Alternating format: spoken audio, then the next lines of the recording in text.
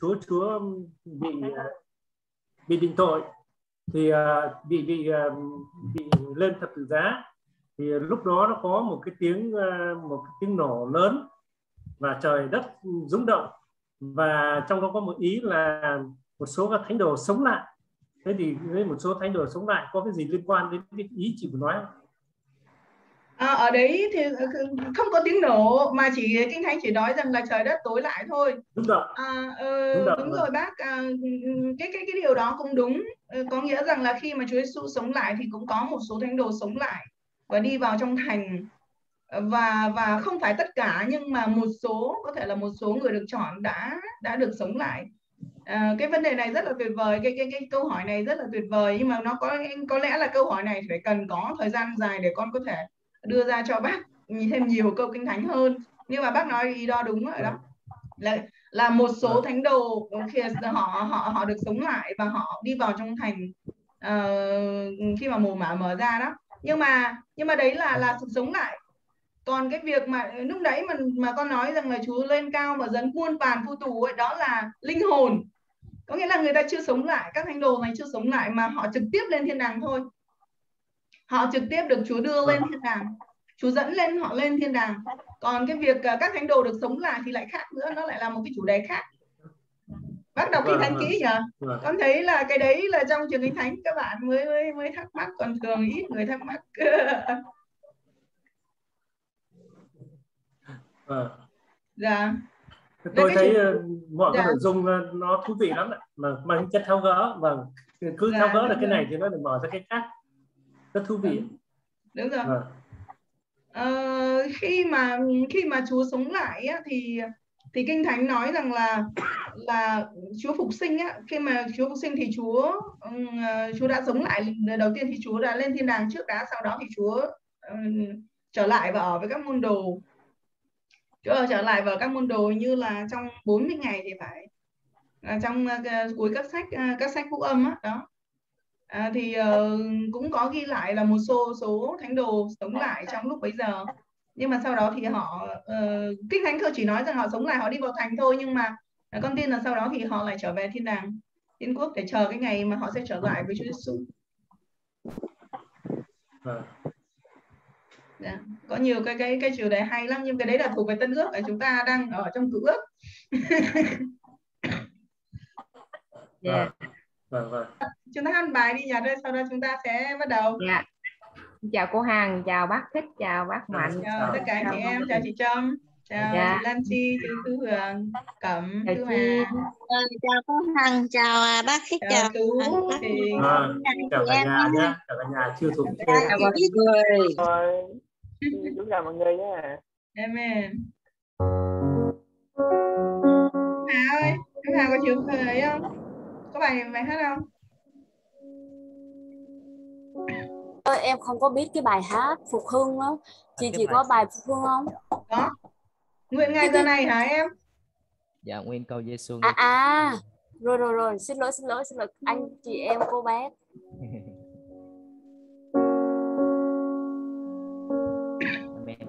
Chúa chúng ta có thời giờ được đến với nhau được thông công trong tình yêu của Ngài thì giờ này xin mời à, quý ông bà chị em chúng ta cùng hướng lòng về Chúa và chúng ta cầu nguyện dọn lòng của mình để ra mắt Ngài trong bây giờ này.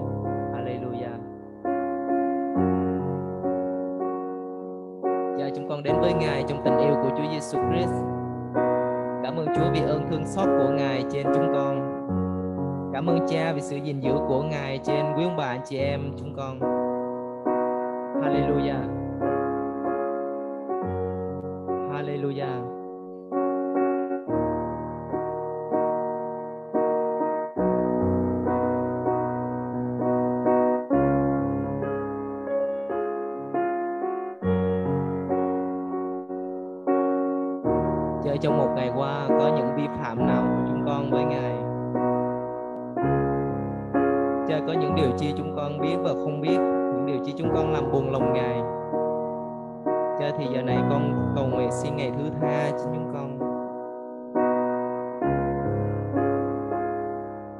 Cha xin Ngài cất đi mọi cái sự vấn vương trên cuộc đời chúng con.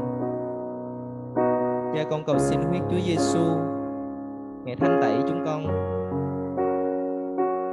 Cha, con cầu xin huyết của Ngài thanh tẩy chúng con thì giờ này cha ơi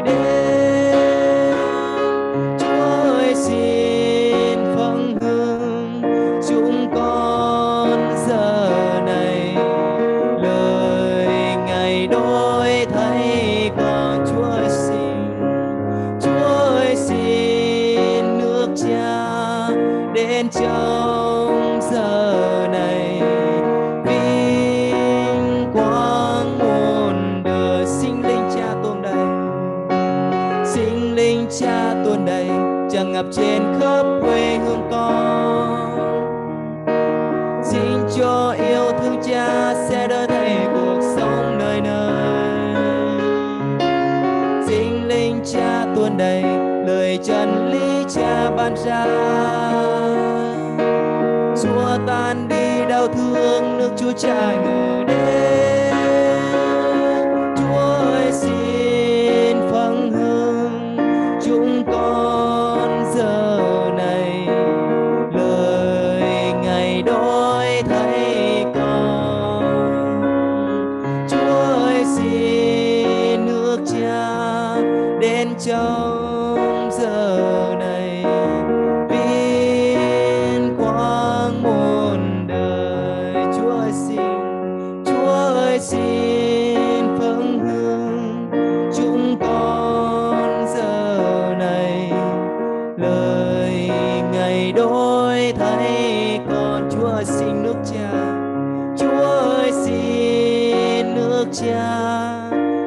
đến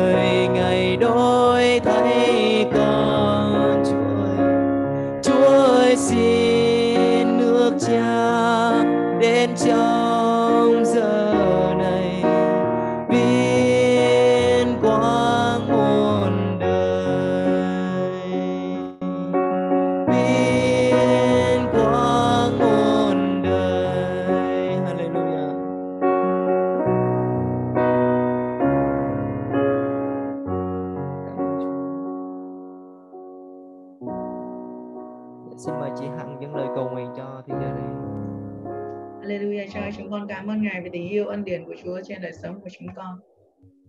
Cha ơi, cảm ơn Chúa vì chúng con lại được hiệp nhau lại và chia sẻ với nhau về tình yêu của Ngài, về lời của Ngài.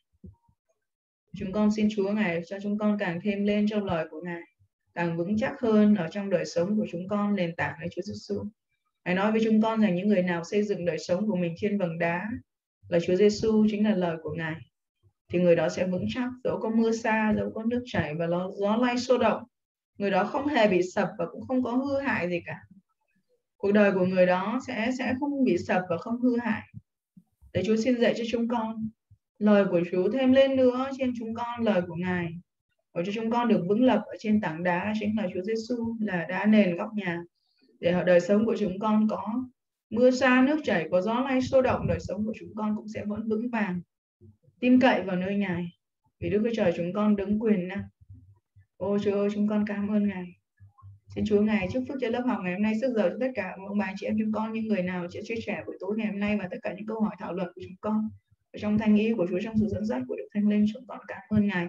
Chúng con à, dâng tất cả chúng con trong sự biết ơn Chúa trong à, niềm vui trong buổi tối ngày hôm nay trong sự thảo luận chúng con cảm ơn Ngài chúng con cầu nguyện trong danh Chúa Giêsu Christ. Amen. Hallelujah. Xin mời Nhật. Em à, Chờ em ờ, chuyển cái vị trí qua đây. À, xin mời chị ờ, chị Lan Chi chia sẻ chị Lan Chi ờ, đã sẵn sàng chưa? Amen. Amen, cảm ơn Chúa. Mình nói với mọi người có nghe đúng không ạ? Nghe chị. Ok, cảm ơn Chúa. Cảm ơn Chúa bởi ân điển của Chúa buổi tối ngày hôm nay tôi được học cùng với ông bà anh chị em. Cảm ơn Chúa thật là nhiều bởi vì uh, cô giáo Hằng cũng như là lớp trưởng đã cho thời đầu tiên bởi vì là uh, cũng phải xin phép lớp thì chút nữa thì tôi sẽ đi cùng nguyện uh, cùng với hội thánh. Nên là ngày hôm nay thì tôi cũng uh, xin phép được học cùng những gì mà tôi học được ở trong cái loạt bài hành trình Israel của thầy Quân. Và cả cái điều mà đánh động tôi rất là nhiều trong buổi tối ngày hôm nay ở trong uh, suốt cái thứ sáu khi mà dân Israel làm bọc về thiếu lương thực và cảm ơn Chúa, cái điều đấy thì tôi thấy rằng là tôi học được rất là nhiều khi tôi tới Chúa, ngài chia sẻ. Và tôi thấy rằng là cảm ơn Chúa, họ được Đức Chúa Trời ngài kêu gọi để ngài giải cứu qua biển đỏ và họ cũng kinh nghiệm phép lạ biển đỏ. Rồi họ cũng đã từng kinh nghiệm về ờ, nước nước đắng. Chúa ngài ba phép lại để cho họ uống nước và bây giờ thì họ lại lầm bầm vì thiếu lương thực. Họ than vãn vì điều đấy và cảm ơn Chúa thật là nhiều ở trong uh, kinh thánh trong sách uh, 16 trong khi họ oán trách môi xe và Aaron tại nơi đồng vắng. Và họ cũng nói cùng với uh, hai người rằng là tôi thà rằng chúng tôi chịu chết khỏi tay Đức giê và tại xứ Egypto khi ngồi kề nồi thịt và ăn bánh chán chê và rồi họ nói rằng họ sẽ bị chết đói ở tại nơi này. Họ kinh nghiệm về Chúa, về cái sự phép lạ của Chúa ra khỏi biển đỏ. Nhưng mà thực sự rằng cái lời chia sẻ của tôi tới Chúa được đánh động tôi rất là nhiều. Bởi vì thực sự rằng họ không kinh nghiệm Chúa là ai trong cuộc đời của họ. Họ chỉ tìm kiếm tay Chúa mà thôi. Và cũng giống như là khi ờ, cái nhu cầu của họ, khi mà họ lương thực và họ ước ao dưa hành của kiểu họ ước ao cái điều mà giống như là thịt và Chúa ban cho họ, sai Mara và chim cút đến, Chúa đáp ứng trên nhu đập cầu của họ. Nhưng mà ở tại nơi đây thì Chúa ngài luôn là phép lạ đáp ứng nhu cầu của họ, nhưng mà dân sự thì luôn luôn làm bọc. Và tôi thấy một điều rằng cảm ơn Chúa trong cái lời bài giống như lời tôi tới Chúa là chia sẻ. Khi chỉ có hơn một tháng khi họ rời khỏi Ai Cập, rời khỏi xứ Ai-Cập thì họ than vãn, họ làm bầm về lương thực và họ nói rằng họ sẽ trở về để chết. Nên là họ than vãn khi trải qua, không phải là đây là lần đầu tiên khi dân Israel than vãn. Ngay khi họ than vãn, họ chống đối, họ nói với Môi-se và Aaron và tôi tin rằng khi họ oán trách Môi-se và Aaron không phải chỉ là oán trách Môi-se và Aaron là tôi, tớ của Chúa tôi đâu, nhưng họ chính ra họ đang oán trách Đức Chúa Trời. Bởi vì cái tấm lòng thiếu đức tin và sự vô ơn Đức Chúa Trời. Và khi điều đó rồi ông Môi-se cũng nhận thấy rằng nhắc lại cho họ nhớ rằng Chúa là đã rút họ ra khỏi xứ Egypto và ông nhắc nhở với dân Israel rằng Chúa là ai, Chúa là đứng yêu thương, Chúa đang là đứng đã đoái đến sự cực khổ của họ và Chúa ngài đứng quyền năng đã rút họ ra khỏi xứ Egypto và nhưng mà cái vấn đề nó là ở đây tôi được đánh động rất là nhiều bởi thầy quân chia sẻ đó là lòng của họ có cái sự vô ơn họ luôn oán trách cỏ trong sự vô ơn và họ không thỏa lòng tại lời Đức Chúa Trời. Trong cái sự, khi cái sự mà cái gian đề sẽ đến, thì thay vì họ tin cậy đến Đức Chúa Trời, thì họ oán trách lời Đức Chúa Trời. Họ oán trách và họ nói rằng, ước gì tôi chết ở tại hay Chúa kêu tôi ra khỏi điều đó để chết ở tại đồng vắng? Và nếu một người không được thỏa lòng, không biết Chúa là ai trên cuộc đời của mình, thì uh, thầy cũng chia sẻ rằng họ không bao giờ có sự thỏa lòng. Và trong lời Chúa nói sự thỏa lòng sự tin kính và sự thỏa lòng ấy là một món lợi lớn. Thì cũng như vậy có nhiều lúc dường như là vẫn thấy Chúa chứng kiến những gì Chúa làm nhưng đôi khi tôi thấy giống như là đôi khi cũng giống như trong trường hợp tôi nhiều khi cái hòa cái lan đề xảy đến nó mình cảm thấy rằng nó rất lớn cho cuộc đời của mình và cũng nói rằng Chúa ơi, tại sao cái điều này xảy đến trên đời sống của con? Và có những lúc mà mình không biết phải làm gì và bắt đầu làm bầm về hoàn cảnh làm bầm về những gì đang diễn ra rồi làm bầm về vấn đề dịch bệnh về công việc. Thì cảm ơn Chúa trong bài học hôm vừa rồi thì thầy quân nói và nhắc lại cho tôi đánh động tôi rất là nhiều. Đó là thực sự không có thả lòng tại nơi nào. Nếu mình nói rằng mình tin Chúa mình biết Chúa là ai thì một người biết Chúa là ai thì luôn biết ơn Đức Chúa Trời bởi Chúa luôn ban cho điều mà dân Israel cần và luôn chu cấp những đủ sự cần dùng cho dân Israel. Thì cái ngày hôm đấy tôi nói là cảm ơn Chúa, nhiều khi mình đi với Chúa và nhiều khi mình quên mất Chúa là ai. Chính những lúc khó khăn trong cuộc đời của mình thì quên mất Chúa và cảm ơn Chúa qua tôi, tớ của Chúa. Thì tôi thấy một điều rằng họ lầm bầm về sự thiếu lương thực họ lầm bầm nhu cầu, họ oán trách tôi tới Chúa, họ oán trách Đức Chúa Trời. Và nhiều khi tôi cũng nằm ở trong số đấy, tôi thấy rằng mình không khác gì, nhiều khi mình cũng cứng lòng mặc dù là người chia sẻ luôn, khích lệ mọi người đến với Chúa, tin cậy với Chúa, nhưng có những lúc mình cảm thấy mệt mỏi.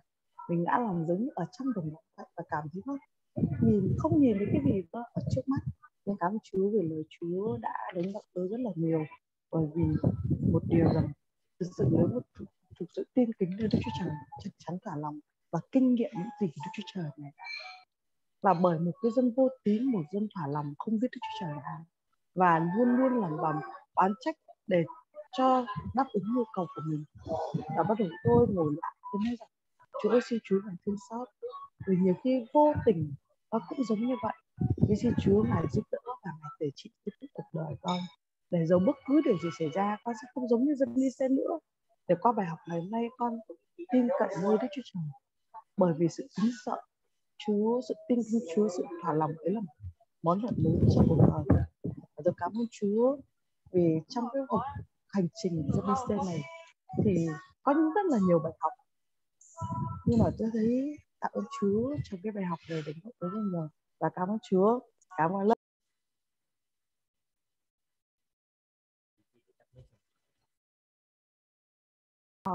cảm ơn Chúa cảm ơn uh, các tôi tới Chúa đã dạy lời của Chúa cũng như mọi người anh nghe tôi tôi tôi chia sẻ tôi xin hết ạ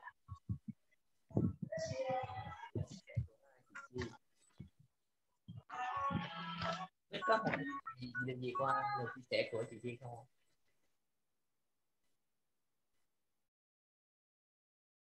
Nhật này lớn lên chứ chưa nghe thấy. Dạ, chị Bích có học được điều gì qua lời chia sẻ của chị Chi không ạ? Chị Bích. thấy chị bích vỗ tay kêu chị bích hả? Dạ thì uh, cảm ơn chúa. Thì uh, bích cũng uh, hôm nay là cũng cùng cái chủ đề giống như là chị chi. Đồng cảm với nhau. Cũng cũng cùng chủ đề về uh, hành trình của Israel và cái sự mà mà dạ làm bầm cái cái cái điều đó vô tính đối với Chúa. Nhưng mà chút xíu bích chia sẻ bài của bích còn bây giờ bích chỉ nói là cái cái bài học từ từ của chị chi là cảm ơn chúa là à, bích thấy là đúng thật là là mình cũng không hơn gì dân Israel nó thật là như vậy. Israel là là hình ảnh mà mình Chúa cho mình thấy chính mình. Nhiều khi mình cũng cứ lặp lại tội ừ. đi tội đó rồi đi lặp tới lặp lui nhưng mà Chúa vẫn nhân từ thì cảm ơn Chúa là uh, Chúa như vẫn nhân từ Chúa hướng thương xót và Chúa vẫn bày tỏ uh, tình yêu và quyền năng của Ngài trên đời sống của mình.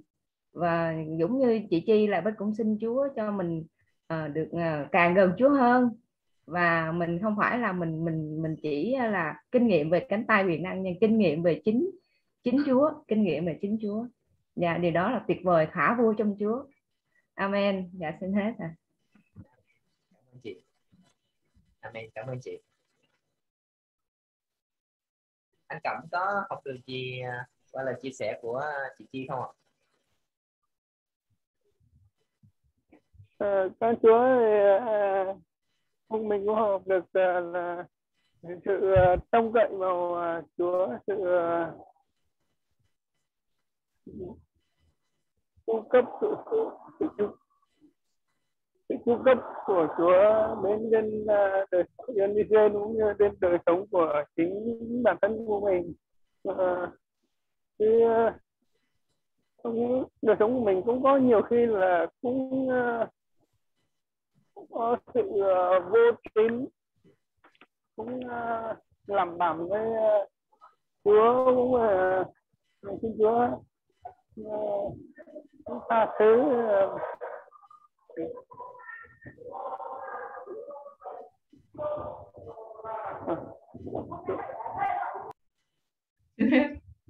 là chia sẻ của anh. Nhà vừa cảm thấy ồn cũng bày tỏ bộc lộ cái à, sự yêu đuối thật của mình để Chúa ngày gia thân thân biệt của mình vượt qua. Nên cảm ơn Chúa.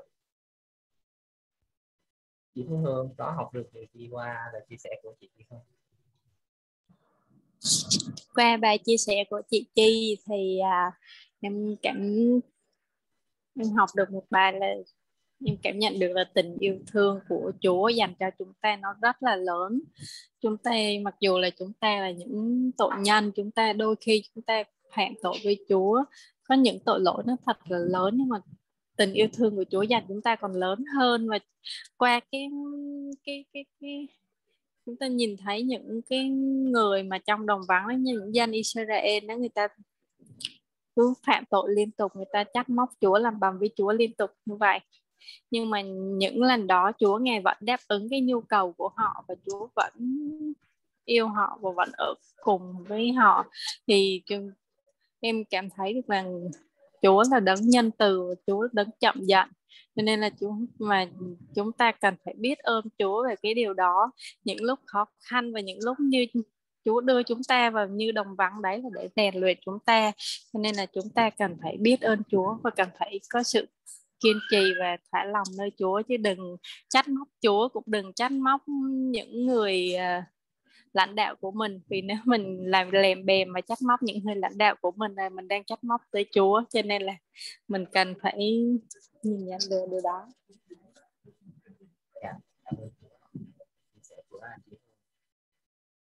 Và tiếp theo chúng ta sẽ nghe qua lời chia sẻ của nhân có xin phép để chia sẻ tiếp có việc hay sao đó. À, của em nó bị nhỏ quá nhật ạ chị nghe không có rõ. Em nói ai cơ? Dạ nhân ấy. nhân nhân. À, xin chào tất cả mọi người. Khỏe nên là em sẽ chia sẻ những gì họ được học được uh, bài học uh, về bài giảng sáng uh, sáng thế ký của một sư Danny hôm vừa rồi em uh, em có việc nên uh, không thể học được.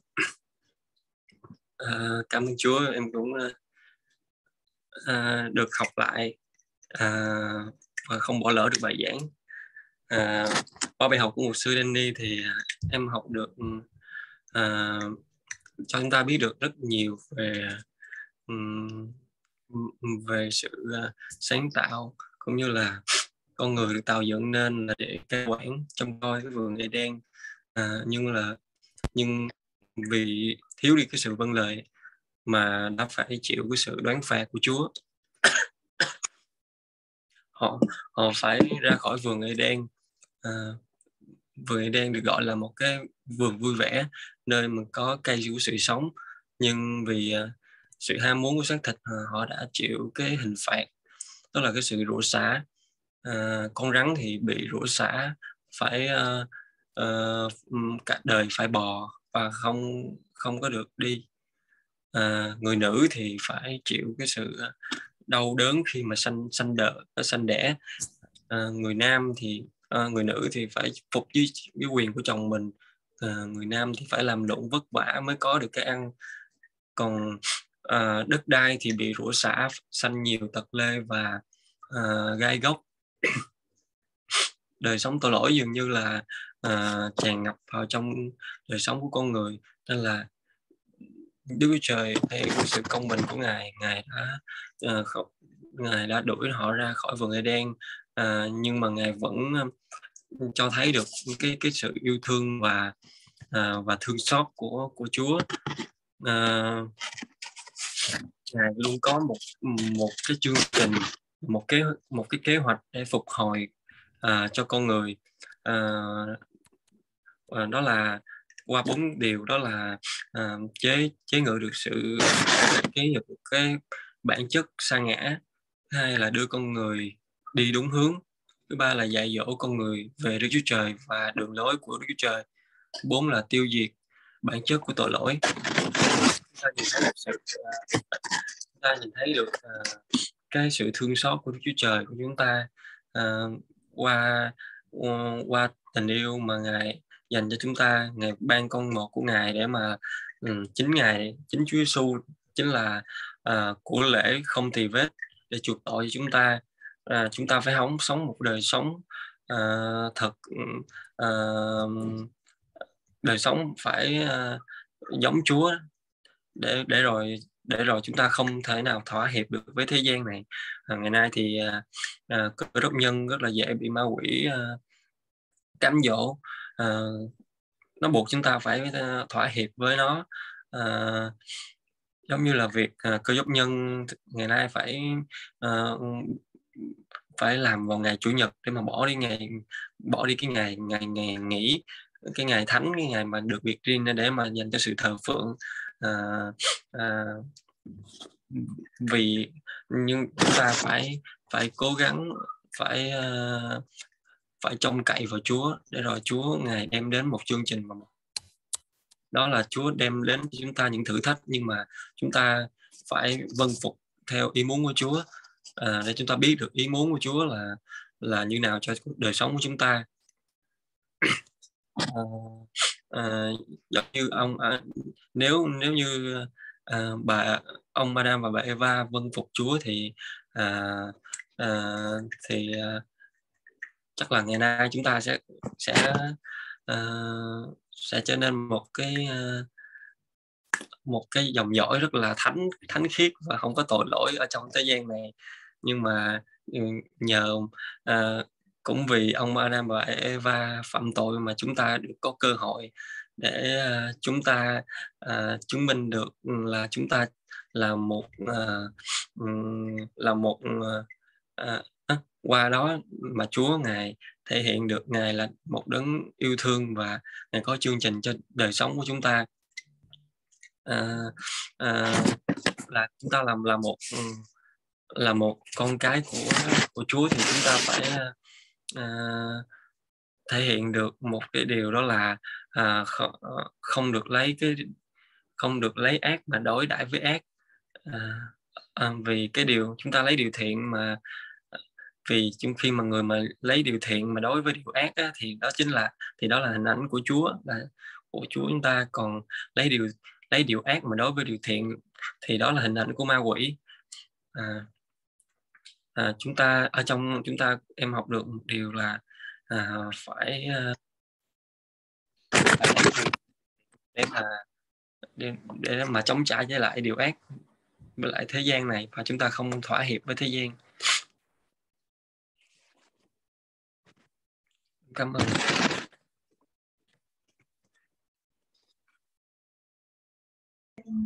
Ngắn quá vậy.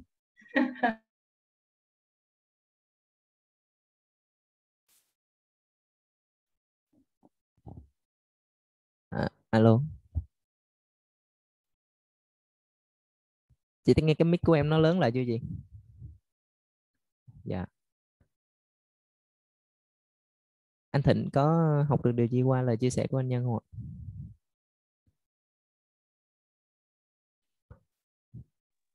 Ờ, qua lời chia sẻ của bạn Nhân thì Thịnh cũng uh, học được uh, và nhớ lại những điều mà thầy đã dạy giống như là bốn điều mà Đức Chúa Trời ngài bày tỏ sự nhân từ của ngài đối với con người.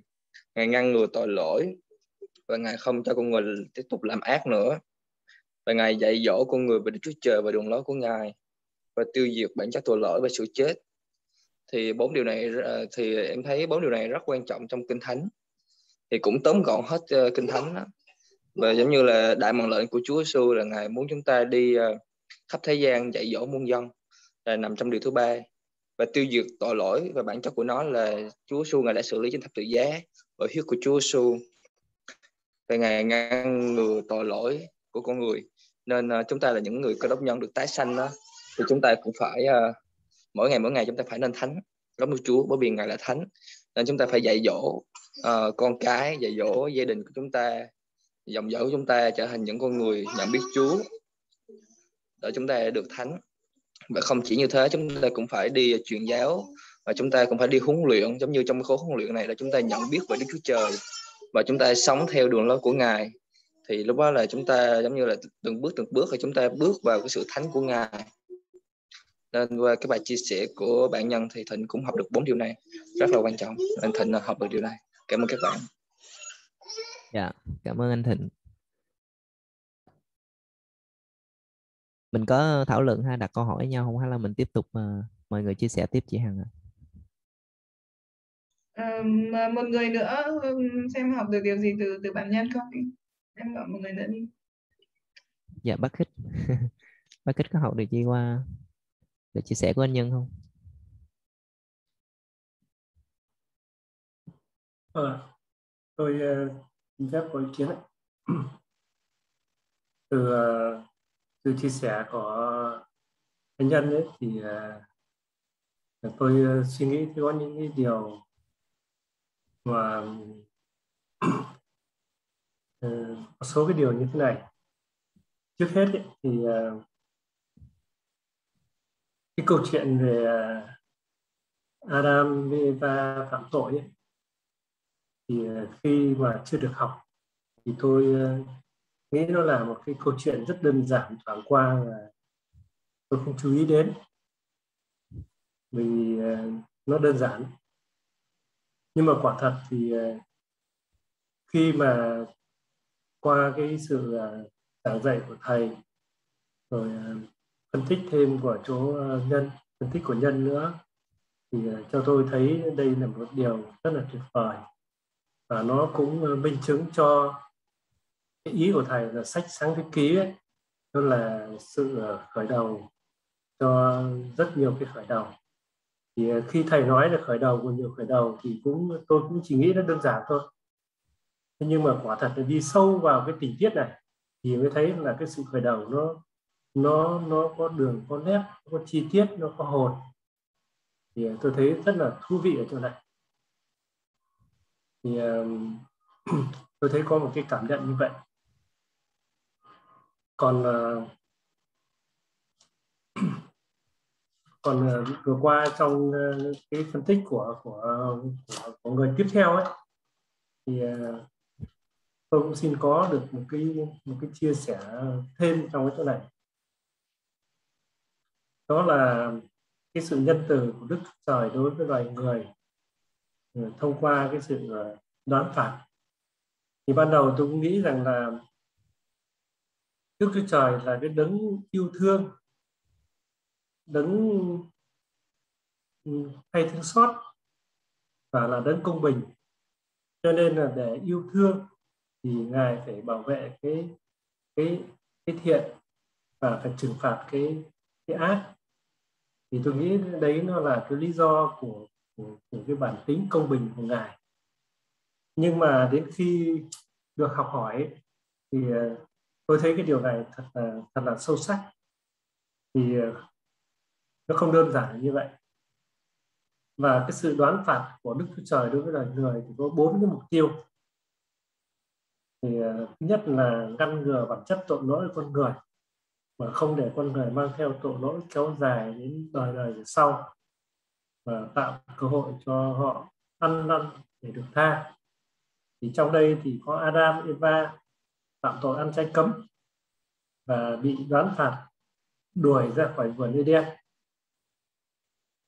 thì ờ, đây là cái sự nhân từ của Đức Chúa Trời đối với Adam Eva mà thực ra là đối với mọi người. Và ở đây thì ngài đã dùng huyết của một con một con thú vô tội để mà che tội cho họ. Thực ra lúc lúc trước thì tôi nghĩ là chuộc tội nhưng mà thực ra thì không phải chuộc tội mới là che tội chưa phải chuộc tội. Nhưng mà cũng cho họ có một cơ hội cái cơ hội. Đấy. Ờ, cái nữa là ở đây liên hệ tới ờ, một cái ờ, cái phần mà kinh thánh nói về mà Chúa Giêsu uh, um, bắt đầu cái cái gọi là cái um, cái chức vụ của mình ấy thì à, à, uh, ở Matthew uh, ừ, à, chương 4 câu 17 thì có có một đoạn nói như thế này là từ lúc uh, đó Đức Chúa Giêsu khởi giảng dạy rằng các ngươi hãy ăn năn vì nước thiên đàng đã đến gần. Thì thực ra thì tôi nhớ đến điều này mà tôi đi tìm cũng hơi cũng hơi vất vả để tôi kiểm chứng lại thì khi mà đọc đến cái phân đoạn này thì tôi có một cái suy nghĩ là cái khởi giảng của Đức Chúa Trời trên đất ừ, khi ngài bắt đầu vào chức vụ của ngài thì cái đầu tiên là rất quan trọng. Và cái đầu tiên thì ngài nói rằng là các ngươi hãy ăn năn. Thì tôi cho là là cái cái cái, cái ý mà mà cái ý ở đây nó rất ăn nhập với lại cái ý mà Đức Chúa Trời không có những cái đoán phạt gay gắt ngay lập tức mà để để tạo cho con người ăn năn. Thì tôi cho đấy đây là một ý mà mà, mà tôi cũng uh, nhận được. Cái thứ hai nữa mục tiêu thứ hai nữa là là, là sự đoán phạt đấy của Chúa. Chỉ khi con người tiếp tục làm điều ác và không ăn năn thì Chúa sẽ hủy diệt họ. Và và và có một cái đoạn kinh thánh ừ, có nói rằng là Đức Chúa Trời coi một dân tộc như là một đám bụi thì ờ, cái ý này để cho thấy là cái cái quyền năng của ngài thì nó nó nó, nó hết sức là là to lớn hết sức là ghê gớm và đến đây thì tôi mới hiểu được thêm cái ý là là là là cái từ gọi là từ kính sợ Chúa. Cái lúc đầu khi tôi mới theo Chúa tôi thấy uh, mục sư với mọi người cứ nói là kính sợ Chúa thì tôi rất, rất lạ. Tại sao lại kính trọng chứ làm sao lại kính sợ? Thì đúng là quả là khi thấy thấy Đức Chúa Trời có cái sự đoán phạt ở những cái trường hợp cái trường hợp mà không thể đừng được ấy thì mới thấy được cái sự cái sự quyết liệt của Chúa đối với tội ác và đây chính là cái lý do để chúng ta dùng cái từ là kính sợ Chúa. Đó. Một ờ, một ý nữa ở đây ấy, là tôi cũng nhận thấy là là ngài không phải là dơ cao đánh khẽ như là trong trong cái thế gian chúng ta hay dùng mà ngài là không đánh khẽ một tí nào mà chỉ là đánh chậm thôi thì không tôi nói là có đúng không? Cũng không ai dùng cái từ này, nhưng mà tôi suy nghĩ tôi thấy là ngài dơ cao và đánh cũng mạnh. Và đánh mạnh đánh mạnh thì mạnh như thế nào thì trong kinh thánh là chúng ta biết hết rồi. Quá sợ. Đấy, thế nhưng mà ngài chỉ đánh chậm. Đánh chậm đấy đấy là cái ơn phước của ngài dành cho con người. Tức là mong con người như vậy là biết ăn năn và ngài sẽ sẽ sẽ sẽ sẽ ừ, gọi là à, tha tội cho còn uh, vấn đề thứ ba là để dạy dỗ. Tức là cái cái cái sự uh, đoán phạt của Chúa đối với con người là để dạy dỗ con người về Đức Chúa Trời và về cái đường lối của Ngài. Thì cái sự đoán phạt thì không chỉ là trừng trị mà còn mang ý nghĩa của cái sự ờ, dạy dỗ. Ừ. ý thứ tư cái mục tiêu thứ tư là sự đoán phạt ấy, là để tiêu diệt cái bản chất tội lỗi và sự chết để con người không sống mãi với trong tình trạng tội lỗi.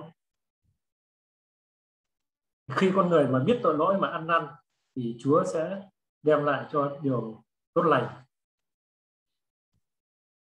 Thì ờ, thì tôi thấy là có mấy vấn đề mà Ờ, mà mà có cái suy nghĩ và lý nhận từ cái ờ, từ từ từ cái phần mà các ờ, bạn có cái chia sẻ phía trước kia. Thì kết hết. Ừ. Được không? Khí thì chúng ta sẽ có thể là có một, hai câu hỏi, sau đó chúng ta sẽ tiếp tục. Nói chút xíu nữa, có chị Bích chia sẻ, hôm nay chị Bích chia sẻ. Chị Trâm có có chuẩn bị bài không ạ? À?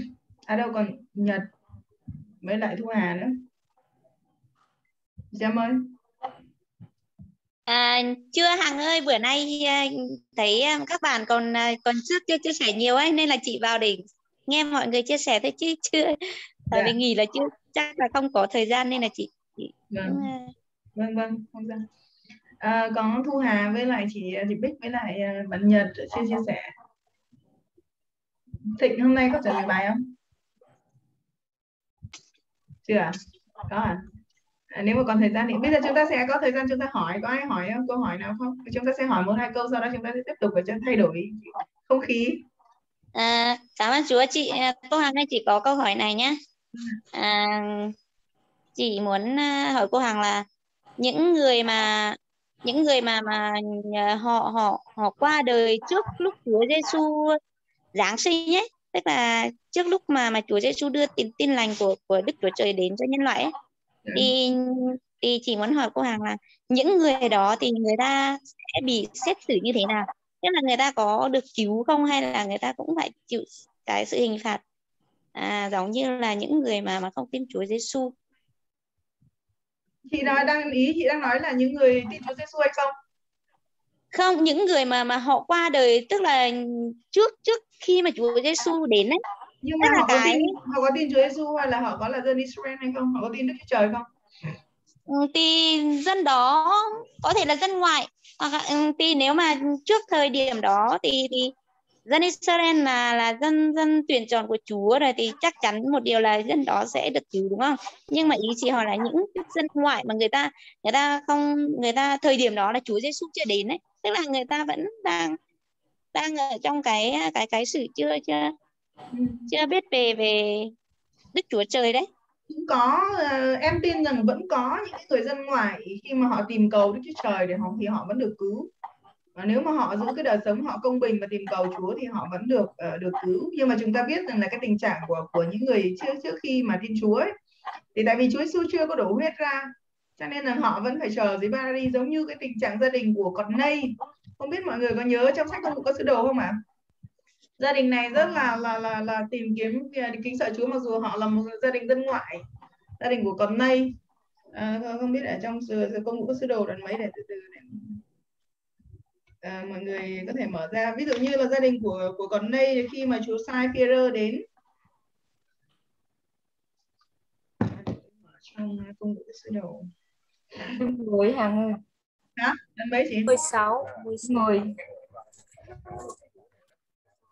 đoạn 10 hay đoạn 16 ở đoạn 10 À, ở đây thì là thành Cesare Philip á, nó là một cái thành uh, gia đình còn đây ở ở, ở thành Cesare Philip trong thành Cesare Philip có một người tên là còn đây cái thành Cesare Philip này á uh, là ở phía bắc ở bên kia sông Jordan. Có nghĩa là nó thuộc cái khu vực dân ngoại á quý vị. Nó ở bên kia sông Jordan mà chứ không phải bên này. Bên này sông Jordan là xứ Jerusalem bên kia sông Jordan cái thành Caesarea Philip này nó ở bên kia sông Jordan ở phía bắc. Nó nằm ở phía đa, bắc bên kia sông Jordan à, ờ, cái người này làm đội trưởng cho quân đội uh, Italy. Thì chúng ta thấy rằng là người này là một cái người mà mà mà, mà kính sợ Chúa. Ở kinh thánh nói câu hai rằng là vẫn đạo đức cùng cả nhà đều kính sợ Đức Chúa Trời. Hay bố thí cho dân và cầu nguyện cùng Đức Chúa Trời không thôi có nghĩa là những người này là một dân ngoại nhưng mà người này vẫn gì ạ? À? vẫn vẫn vẫn cầu nguyện với Chúa vẫn kính sợ Chúa. Thế cho nên rằng là ở trong cái dĩ nhiên là dân do thái kể cả dân do thái nếu như mà họ không kính sợ đức chúa trời mà họ giống như những người pharisee thì họ vẫn bị lửa địa ngục hình phạt. Đúng không ạ? Nhưng mà nhân dân ngoại á, nếu như họ thật lòng tìm kiếm chúa ấy, chúa vẫn thương xót họ. Và chúng ta nhớ rằng chỉ có sau khi mà họ vẫn có thể được ở Paradis với lại Abraham. Họ vẫn có thể được Đức Chúa Trời thương xót. À, vì vì họ kêu cầu Đức Chúa Trời và họ họ giống như gia đình còn nay ở đây này đạo đức và cả nhà đều kính sợ Đức Chúa Trời. Trong cái thời điểm này à, thì à, những người không tin Chúa Giêsu thì đều không được cứu hết. Nhưng mà trong cái thời điểm của cựu ước á, thì những người kính sợ Chúa thì họ vẫn à, em tin rằng là Chúa vẫn thương xót họ giống như gia đình cột mây này. Amen. Kinh Thánh thì không có nói một cách rõ ràng về cái vấn đề này nhưng mà chúng ta có thể thấy được cái gia đình cột mây này là một cái gia đình người ngoại ở bên kia thành ở thành Cesare ở, ở thành Cesare và ở bên kia có sông Jordan cái cái khu vực này ở phía bắc bên kia sông Jordan nhưng mà uh, nhưng mà đây là cái thời điểm tân ước rồi nhá đây là thời điểm mà Chúa sai sứ đồ Phêrô đến bởi vì sứ đồ Chúa biết rằng là gia đình này kính sợ Chúa. Cho nên rằng là là là Chúa đã uh, cho thiên sứ của Chúa đến ở trong câu số 3 ấy thiên sứ ờ, thiên sứ đến. Và vào nhà của con nây và nói là con nây rằng là gì ạ? Lời cầu nguyện sự bố thí có nghĩa là người này giờ nhân đức. Cầu nguyện này bố thí đã thấu lên đức chúa trời và ngài ghi nhớ vậy bây giờ hãy sai người đến thành dốc mời simon gọi là Führer sau đó thì simon đã đã đến. À, chúng ta biết rằng là khi mà simon Führer ấy thấy cái khải tượng ấy trong lúc này là ông đang thấy cái khải tượng ấy là chúng ta biết rằng là có hai lần à, xin lỗi ba lần lặp lại ba lần là là có một cái một cái khăn chéo xuống rất tất cả những cái cái loài vật mà trong đó có cả các thú mà không tinh sạch. Thì Führer là người Israel á, người Do Thái á, thì không có ăn những cái động vật này. Nhưng mà Chúa nói rằng là gì? Khi mà Chúa đã làm thanh sạch rồi á à, ở trong ở trong câu số 15 nói rằng là tiếng đó lại phán với ta lần thứ hai rằng phàm vật chi Đức Trời đã làm cho thanh sạch thì chớ cầm bằng dơ giấy. Ở đây đang nói đến cái việc cái người cái người thầy độ này là dân ngoại. Người thầy độ này là dân ngoại nhưng mà gì à dân, dân giống như là Führer thì không có. Führer nói rằng tôi là người Juda có nghĩa là người Juda ngày xưa thì họ không có tiếp xúc với dân ngoại nhưng mà Chúa nói rằng là những cái gì mà Chúa làm thanh sạch thì không có cầm bằng dơ giấy nữa là Chúa sai sau đó thì Chúa sai Führer đến cái nhà cái người con đây này bởi vì cái đối với người do đái thì cái người cái người uh, ngoại thì người ta gọi là cái người không thanh sạch. Hay là còn gọi cái khác là dân dân do thái người ta còn gọi dân ngoại là chó. Có nghĩa là họ coi thường dân ngoại đến như vậy. Thế nhưng mà đối với chúa thì sao ạ? Bởi vì chó là cái cái động vật không sạch. Nói về nói về nói về thứ hương động vật không sạch ở đây nói là thú cái thú bốn cẳng vân vân này cứ bốn cảng là mọi loài mọi loài côn trùng bò trên đất loài chim trời. Có nghĩa là nó không thanh sạch. Nhưng Führer nói tôi không có ăn những cái thứ không thanh sạch chú ơi. Nhưng mà chú nói rằng cái gì mà chú làm cho thanh sạch thì đừng cho coi là ô ấy có nghĩa là người ngoại á. Đối với Führer tại vì chú chú cho Führer cái khải tượng này là về người ngoại. Đối với Đức Chúa Trời á khi cái gì mà ngài kể cả dân ngoại á, là dân mà mà không có ở trong giao ước của Abraham á họ được họ, họ bị ví là dơ bẩn á nhưng mà đối với Đức Chúa Trời khi mà ngài đã làm sạch rồi thì không có được gọi là dơ bẩn nữa. Đấy, cho nên Chúa mới nói rằng là chớ phàm và truy Đức Chúa Trời đã làm cho sạch thì chớ cầm bằng dơ giấy. Thế thì uh, thế thì em tin rằng là cũng có những cái người mà trong thời cựu ước ấy, họ không phải dân Israel nhưng họ kính sợ Đức Chúa Trời. Thì họ cũng được uh, liệt vào dân Israel hay là họ cũng được cứu giống như là hôm trước uh, giống như là gia đình của Ahab á. Ahab là một kỹ nữ nhá là một cái người mà nếu mà nói theo cái tiêu chuẩn của Việt Nam của của của mình á của người bình thường á thì là một cái người kỹ nữ hay là một người làm gái á là một cái người hết sức là là có đời sống là không có không có chấp nhận được đúng không ạ à? kể cả người bình thường đối với chúng ta nhưng mà Ahab á, lại được Đức Chúa Trời thương xót khi mà các thám tử đến do thám sứ à, do thám Jericho á, thì Ahab đã giấu hai thám tử này và sau đó thì uh, hai thám tử đã hứa rằng là khi mà dân Israel chiếm được Jericho ấy, thì sẽ cứu Ahab và cả nhà người. Và sau đó thì Ahab lấy một cái người Israel. Sau khi mà dân Israel đã chiếm được thành Jericho rồi thì ờ, được cứu gia đình Ahab được cứu và và và và sau đó thì được uh, Ahab lấy một người Israel. Và sau này Ahab ở trong cái cái ở trong cái gia phả của Chúa Giêsu Ahab là cái người có tên ở trong gia phả của Chúa Giêsu thì chúng ta thấy rằng giống những người ngoại á ở trong cái thời cựu ước ấy, mà họ kính sợ Chúa ấy, thì Đức Chúa Trời ngài vẫn thương xót. Nhưng mà ngày hôm nay những người nào mà không tin Chúa Giêsu thì không được lên thiên đàng.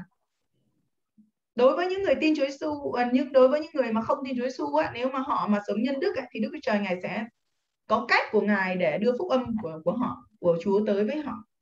Bằng rất nhiều cách. Ví dụ như là chúng ta thấy Chúa có hàng ngàn kinh thánh nói rằng là tiếng các sứ giả của Chúa vang khắp đất. Nghĩa là kể cả những vùng chưa được truyền giáo phúc âm nhưng mà Chúa có cách để bày tỏ cho họ. Có những lúc ở trong những cái khu vực Trung Đông á thậm chí Chúa sai thiên sứ của Chúa đến bảo với họ. Rồi thậm chí qua những cái chương trình truyền hình rồi dân tộc Hâm Mông Việt Nam của chúng ta phần lớn tin Chúa qua đài nguồn sống là họ chỉ nghe audio đài thôi và họ tin Chúa Giêsu Thế cho nên rằng là đối với thời tân ước của chúng ta ấy, là những người nào không tin Chúa Giêsu là không được gọi cứu. Mà trong cựu ước ấy, thì cái sự thương xót của Chúa đối với những cái người mà sống nhân đức Amen nhưng mà trong thời của chúng ta thì cũng có người, người tin rằng là những cái người mà mà mà mà mà, mà lòng của họ khao khát Chúa thì Chúa chắc chắn sẽ cho họ gặp ngài cho họ biết Amen. À, tôi xin phép ý kiến được không? Xin mời bác. Amen. Ờ, Cảm ơn. tôi tôi có, về cái ý này thì tôi có một cái cách ờ, hiểu và cách ờ, diễn đạt như thế này Vâng ạ. tức là ở cái thời ờ, cựu ước ấy thì tuy rằng là dân Israel là dân chọn. Nhưng mà chọn là chọn để mà Chúa dạy dỗ. Mà tôi hiểu như là đấy là cái cách làm điểm của Chúa rồi. Làm điểm của Chúa, chọn một dân để mà dạy dỗ. Và từ đó nó ra một cái bài học cho cho cho cho cho cả nhân loại. Về sau này nó giống như cái hành trình Israel ấy. Chứ còn đến khi mà chết đi rồi ấy, thì tôi cho là là là không sẽ không có một sự phân biệt giữa dân dân dân chọn với dân ngoại. Bởi vì Chúa là đấng công bình. Và như thế có nghĩa là tất cả những ai mà có công với việc làm của Chúa hay là là người công bình đấy thì như vậy là sẽ được uh, Chúa Chúa Chúa cứu. Nhưng mà sẽ, Chúa sẽ cứu ở cái thời điểm mà cái thời tức là cái cái cái khi Chúa tái lâm thì lúc bây giờ Chúa mới xét và cứu. Mà tôi hình dung như thế là cái số người cứu thì ờ, có lẽ cũng không được ừ, nhiều, mà nhất là người ngoại sẽ không nhiều, nhưng mà sẽ có. Thế còn cái người ừ, cái cái cái cái người được chọn, tuy là người Israel được chọn, nhưng mà những người không vâng lời thì Chúa vẫn diệt mà. Sau khi sau khi không không không không ờ, gọi là ừ, đến cái lúc cần thiết là Chúa vẫn diệt, và diệt rất nhiều đấy thì ở đây là sự công bình của Chúa thì tôi hiểu như thế có có có phù hợp không ạ? dạ cái cái ý của bác là là cũng đúng nhưng mà con muốn nói lại một chút xíu đó là à, lúc nãy như lúc nãy con giải thích á, là những người trong cựu ước á, trước khi Chúa Giêsu ngài phục sinh á, sống lại á, thì họ vâng. ở dưới Paradis họ ở dưới lòng đất á vâng. ở dưới lòng đất á. cho nên khi mà Chúa sống lại á, thì Chúa đưa cái Paradis đó lên thiên đàng có nghĩa rằng là bây giờ những người đó ở thiên đàng rồi. Thế cho nên rằng là lúc đấy bác nói về cái ý là gì sau khi Chúa tái lâm cái gì đó. À, con con không nhớ một cách vâng. chính xác nhưng mà không phải. Có nghĩa là khi mà Chúa Giêsu đã phục sinh hay đã sống lại thì họ đã ở trên thiên đàng rồi thì Chúa đã đưa họ lên trên thiên đàng. Và họ thì linh hồn của họ bây giờ đang ở trên thiên đàng. Thì dĩ nhiên rằng là khi mà chúng ta qua đời thì không còn phân biệt người Do Thái hay là gì hay là người Grec hay gọi là người Hy Lạp hay là gọi là người dân ngoại đấy. Người Do Thái hay là người vâng. Grec có nghĩa là người người Do Thái người dân ngoại chúng ta không còn phân biệt nữa. Mà chúng ta chỉ phân biệt công dân của thiên quốc. Đúng không là công dân của thiên vâng. đàng. Kể cả dưới địa ngục cũng thế chỉ có công phân biệt công dân của vườn Paradis của của của của khu vực vườn Abraham lòng Abraham á. Và khu vực công dân ở bên chỗ mà mà mà mà gì địa ngục thôi. Nơi mà nóng á khóc lóc nghiến răng thôi. Chứ không có phân biệt công dân của do thái. Vâng. dĩ nhiên rằng ở trong cõi đời đời mọi thứ đều được nhớ lại. Giống như một sư Brian vâng. nói rằng là trên cái khi mà bà bà bà vợ mục sư vợ của mục sư qua đời thì có một cái người được Chúa đưa lên thiên đàng và bà thấy rằng là trong nhà của vợ của ông á là có đầy những cái cuốn sách của họ để lưu lại những cái kỷ niệm. Có nghĩa là mọi thứ họ đều nhớ hết lưu lại những cái kỷ niệm mà, mà sách của Mr. Brian là là trong nhà của họ đầy dãy những cái sách mà của họ viết để lưu lại những cái kỷ niệm. Có nghĩa là mọi thứ chúng ta đều nhớ hết. Dĩ nhiên họ nhớ là khi mà ở trên đất họ là công dân do thái nhưng à. mà những cái điều đó nó không còn quan trọng nữa. Nó là à. quan trọng là bây giờ chúng ta là công dân thiên đàng họ là công dân thiên đàng thế thôi. Vâng, tôi hiểu sai thời điểm ạ. Sai thời điểm tức là không phải là cái ngày Chúa tái lâm mà ngay ngay khi Chúa sống lại dạ đúng rồi. Ngay khi Chúa sống lại thì dạ, thì Chúa sẽ số số mang Baradi ờ, lên trên ờ, thiên đàng. Và chúng vâng. ta ờ, và Amen. không có còn ở dưới lòng đất nữa. Không có còn ở dưới lòng đất. Chỉ còn uh, địa ngục á thì vẫn còn ở dưới lòng đất hay là âm phủ vẫn ở dưới lòng đất. Còn Baradi thì ở trên thiên đàng rồi không còn. Bởi vì sau khi Chúa Giêsu phục sinh thì Chúa mang Chúa mang lên thiên đàng. Có cái câu kinh thánh đó bây giờ mọi người muốn có muốn mở thì thì xin mời mọi người mở ra để để để có thể ghi lại ghi lại cái đó.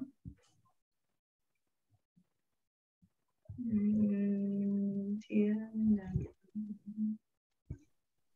để tôi mở. Mọi người muốn thì mọi người có thể ghi lại à, cái câu kinh thánh này.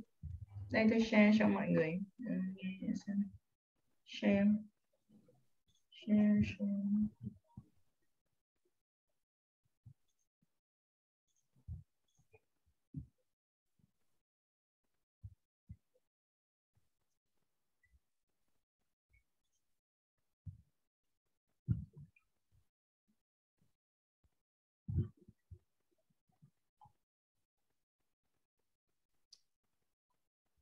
Episode đoạn 4 câu 8 và phía đơn nhất đoạn 3 câu 19 và 20.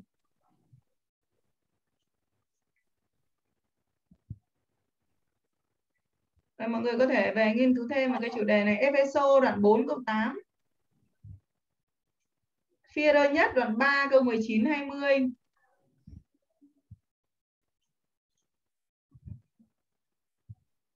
Và Luca, câu chuyện của Luca Luca đoạn 16 câu 19 đến 31 đây là câu chuyện của Abraham Lazarus và người giàu.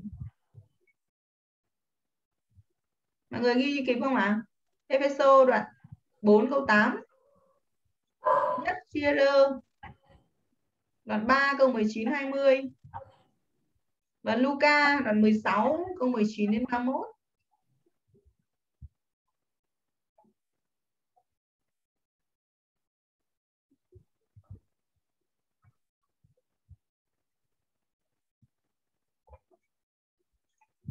Amen. Rồi. Có ai có câu hỏi nào nữa không ạ? À? Trước khi chúng ta sẽ có người kế tiếp chia sẻ hay là chúng ta sẽ chia sẻ xong thì chúng ta hỏi tiếp cũng được. Tại vì à, câu hỏi lúc đấy hơi dài. Chúng ta chia sẻ đi, dạ Nhật ạ.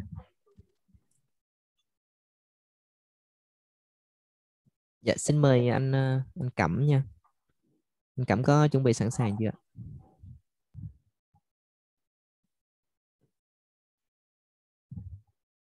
à, mình ơi mình nghe được không ạ? Dạ được anh ờ, ơn chúa qua bài học của uh, anh rồi hành trình khác ấy. Mình uh, học được uh, khi uh, ở trong đồng và nhân dân trên uh, uh, mua có những chưa khốn về và uh, muốn uh, cái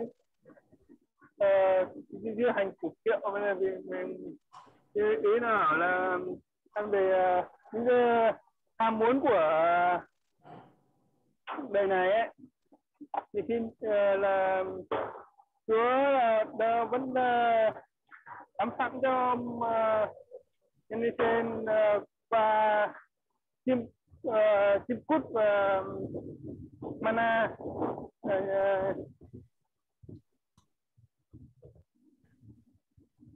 và, và như ban đầu chúng ta thấy là con người uh, phát triển của chúng ta là luôn uh, có những ham muốn uh,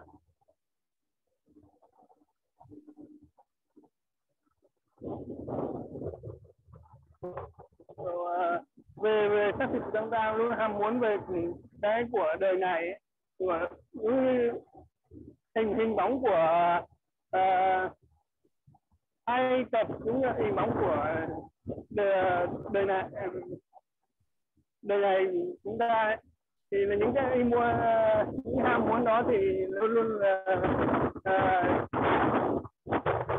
uh, tái với những ý muốn của Chúa. Thì uh, khi uh, như mà những những hen uh, ờ, cũng ờ, làm bằng với như những cái qua sự ờ, uh, kia làm bằng trong đồng vãng uh, có chúa chúa cũng là đứng uh, di dê tiếp trợ cho Einstein ông thấy chúng ta cũng thấy được là chúa luôn luôn là đứng tiếp trợ chúng ta mỗi chúng ta bạn chị em và cũng là chúa đứng à, mà và qua những cái à, thử thách đấy thì à, chúng ta thấy được có những cái gì còn ờ, đồng vắng mà ở trong đời sống chúng ta thì chúng xin Chúa cất đi thì qua những thử thách đấy thì chúng ta có những à,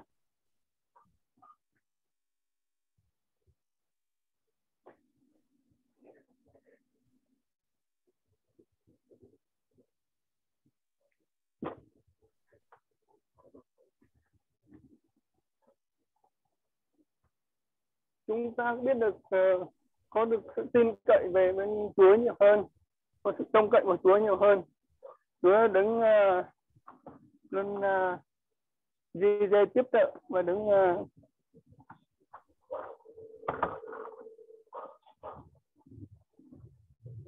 chúng ta cảm ơn Chúa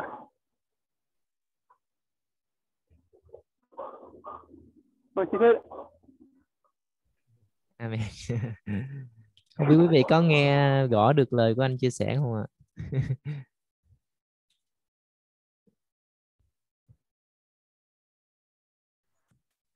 em, em nghe rè rè rè em không có nghe cũng chia sẻ rõ chắc là em sẽ nghe lại sau. Dạ. Yeah.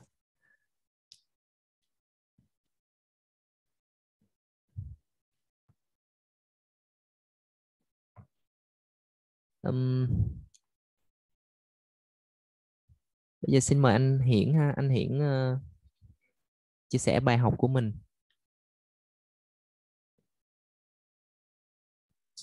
Anh chưa chuẩn bị uh, nhật uh, chắc tuần sau á nhật. À dạ anh vô tham dự thôi đúng không? Dạ.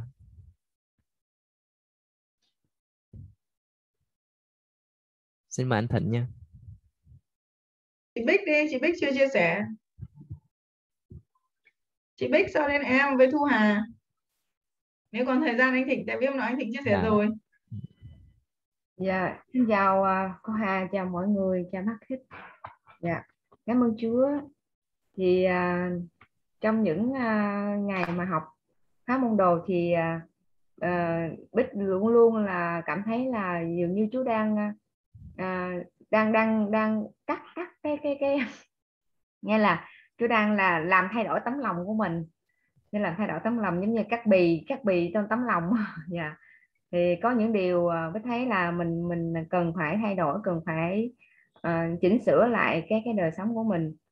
Và nhưng mà điều mà bích cảm thấy là cảm động đó là uh, bài hành trình Israel. Dạ, thì uh, bích, ừ, hôm nay cái cái cái bài bích chia sẻ là sự kiên nhẫn và nhân từ của Chúa. Dạ, thì hành trình Israel á, mục đích là à, diễn tả cho mình thấy là một cái hành trình thuộc linh à, của một cơ đốc nhân. Từ khi mà tiếp tiếp nhận Chúa Giêsu tin nhận Chúa Giêsu và những bước chặng đường mình trải qua sẽ là gì cho đến khi mình đạt cái tầm mức là trưởng thành à, nên giống Chúa Giêsu thì mình trải qua những điều gì? Thì Bích cũng thấy là à, sách nói về à, một câu mà mình cảm thấy là mình cần phải suy nghĩ là Đức Chúa Trời chỉ cần một ngày dẫn Israel ra khỏi Egypto. Nhưng mà để lấy Egypto ra khỏi dân Israel thì cần 40 năm. 40 năm. Một thời gian cũng cả là phải là phân nửa đời người. Dạ yeah, rất là dài. Và à, ngồi biết suy nghĩ thì tôi thấy là à, như ừ, tại sao mà mình thắc mắc là tại sao mà là 40 năm? À, dạ không phải là 10 năm hay là 20 năm? Là là là nhiều lắm rồi. Là mình thấy là lâu lắm rồi. Mà là 40 năm. Thì à, Bích ngồi suy nghĩ thì Bích nhớ đến sáng thế đặng ba là câu chuyện về Adam và Eva sa ngã phạm tội. Thì Adam và Eva sống trong một vườn Eden rất là tuyệt vời hoàn hảo. Và uh, Adam và Eva là không không có bị một ảnh hưởng một cái thần tượng nào khác. Không có một cái thần tượng cũng không có một con người nào xấu mà mà ảnh hưởng uh, đến cái tâm tính của Adam và Eva. Nhưng mà Adam và Eva lại sống một trong một cảnh vườn Eden rất là tuyệt vời và có một đang có một mối tương giao với Đức Chúa Trời à, hoàn hảo nghe là mình nói là rất là tuyệt vời. À, nhưng mà chỉ một lần nói chuyện với con rắn chỉ một lần nói chuyện với con rắn mà Eva đã sa ngã và từ đó bà đã có cái quyết định là là là không còn tin cậy Chúa và không còn vâng phục Chúa. Thì nhưng mà mình suy nghĩ lại, mình mình suy nghĩ lại bài học của Israel. Là Israel đã ở Egypto là một nơi thờ thần tượng 430 năm. 430 năm. Không phải là một năm, hai năm, nhưng mà 430 năm là bốn thế kỷ, bốn thập kỷ ô bốn thế kỷ, đúng rồi, bốn thế kỷ dạ yeah, rất là lâu. Thì khi mà ở trong 430 năm thì dân Israel tâm trí họ đã bị in in trong tâm trí họ. Những cái thần tượng của e-, Egypto họ đã chứng kiến họ họ đã thấy và thậm chí vậy bích nghĩ là nhiều khi cũng trong số họ họ cũng đã theo như Egypto họ có cái thần tượng. Họ đã bị học lấy những cái điều mà của Egypto là thờ thần tượng. Họ họ nghĩ là à thần là phải làm ra, là phải thấy, là phải sờ, phải chạm, là phải nhìn thấy được. À thần là như phải như vậy như vậy như vậy. Thì khi mà ở trong tâm trí họ đã có như vậy rồi, nên khi mà giàu cho Chúa, Đức Chúa Trời, Ngài đã giải cứu họ ra khỏi biển đỏ, vượt qua biển đỏ.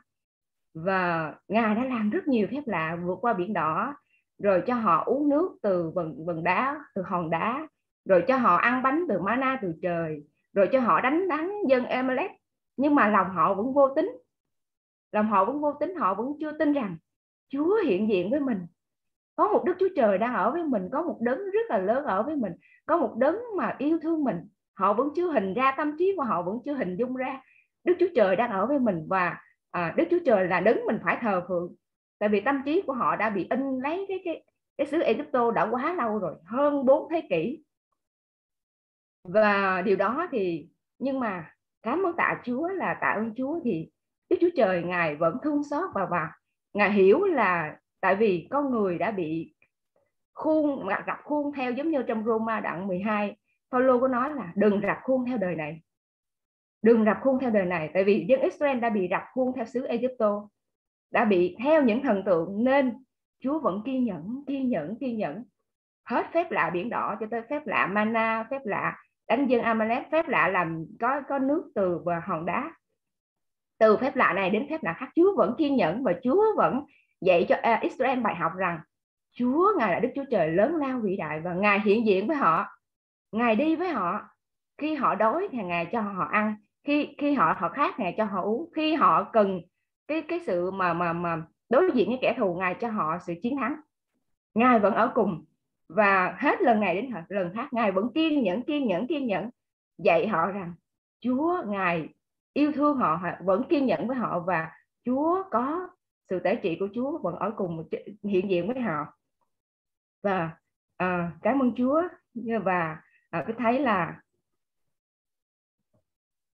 cảm ơn Chúa thì thấy, thấy điều đó là mình mình suy nghĩ lại à, cái cuộc đời của mình. Nhiều khi là um, đích nói là nhiều khi uh, mình nhìn hình ảnh Israel mình mới nói là ủa tại sao mà sao dân này mà cứ ờ, uh, làm mầm rồi cứ nổi loạn rồi cứ trách Chúa nó cứ lặp đi lặp lại cái tội đó hoài. Cứ uh, đến hoạn nạn khó khăn lại làm lầm cứ đến hoạn nạn khó khăn lại nổi lên lại nghịch lại ấy mua xe lại lại nổi giận với mua xe lại nói rằng là thà tôi ở dân Egypto còn hơn là đi vô cái xứ này. Nhưng mà à, Bích thấy là nhiều khi mình cũng vậy. Cái đời sống mình nhiều khi mình cũng yếu đuối mình có, có lúc tội lỗi mình cứ lặp đi lặp hoài cái tội đó. Và nhiều khi Bích cũng nói với Chúa Chúa ơi xin giúp đỡ con xin thương xót con xin cứu con khỏi cái điều này. Và cảm ơn Chúa thì sự nhân từ của Chúa. Cứ hết lần này lần khác Chúa vẫn tha thứ. Hết lần này lần khác Chúa vẫn ban ơn và ban ơn điển cho Bích. Và Bích thấy là tạ ơn Chúa vì vì sự thương xót của Chúa. Và ừ, Bích thấy là uh, cái cái cái mục đích mà đồng vắng như trong bài học của của của thầy là mục đích của đồng vắng là để xử lý xử lý cái tội lỗi của mình.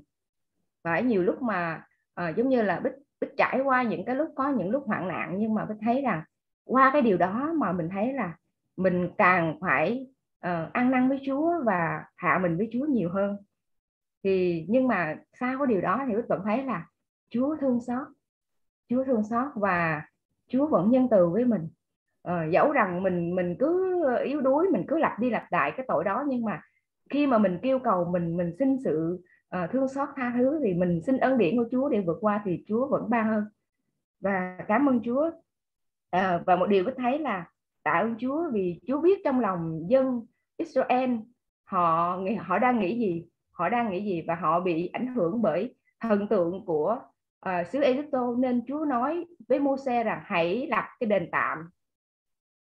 Và giống như là khi Bích suy nghĩ về cái bài chia sẻ ngày hôm nay thì dường như Chúa cho Bích thấy là Đức Chúa Trời ngài nói với Môse là hãy à, lập đền tạm con hãy lập đền tạm theo kiểu mẫu mà ta đã chỉ cho sẽ chỉ cho. Chúa chỉ cho Môse làm đền tạm và Chúa nói rằng à, nơi đền tạm này ta sẽ ngự ở cùng dân Israel. Và cho dân Israel thấy rằng Đức Chúa Trời Ngài đi cùng với Israel, trụ mây ban ngày và trụ lửa ban đêm. Cho dân Israel thấy rằng Chúa đồng hành với họ và Chúa ở với họ và Chúa, Ngài hiện diện với họ rất rõ ràng, chứ không phải là mơ hồ, cũng không phải là những điều mà họ đã bị in trí trong trong xứ Egypto là phải lập thần tượng như thế này thế kia nhưng mà họ họ họ, Chúa dạy cho họ cái cái kiểu mẫu đền tạm là sự hiện diện của Chúa rất là thánh và à, Chúa hiện diện với à, Chúa hiện diện với dân Israel qua cái cách mà Chúa thể hiện chứ không phải là như họ đang nghĩ. Qua cái cách họ nghĩ à, như, à, mà mà đã bị ảnh hưởng bởi xứ Egypto và cảm ơn Chúa là với thấy là à, sự nhân từ của Chúa quá lớn. Nhiều khi mình mình mình mình đọc mình đọc cái cái cái sách xuất hành xuất Egypto thì mình mình nói là tại sao mà dân dân Israel này yếu đuối quá nó nó vô tính quá. Nhưng mà nhiều khi đời sống mình cũng vậy cũng có lúc bích cũng nhiều khi cũng xin Chúa tha thứ về sự vô tính của mình. Mình mình mình không không có mình mình không có tin rằng Chúa làm điều đó.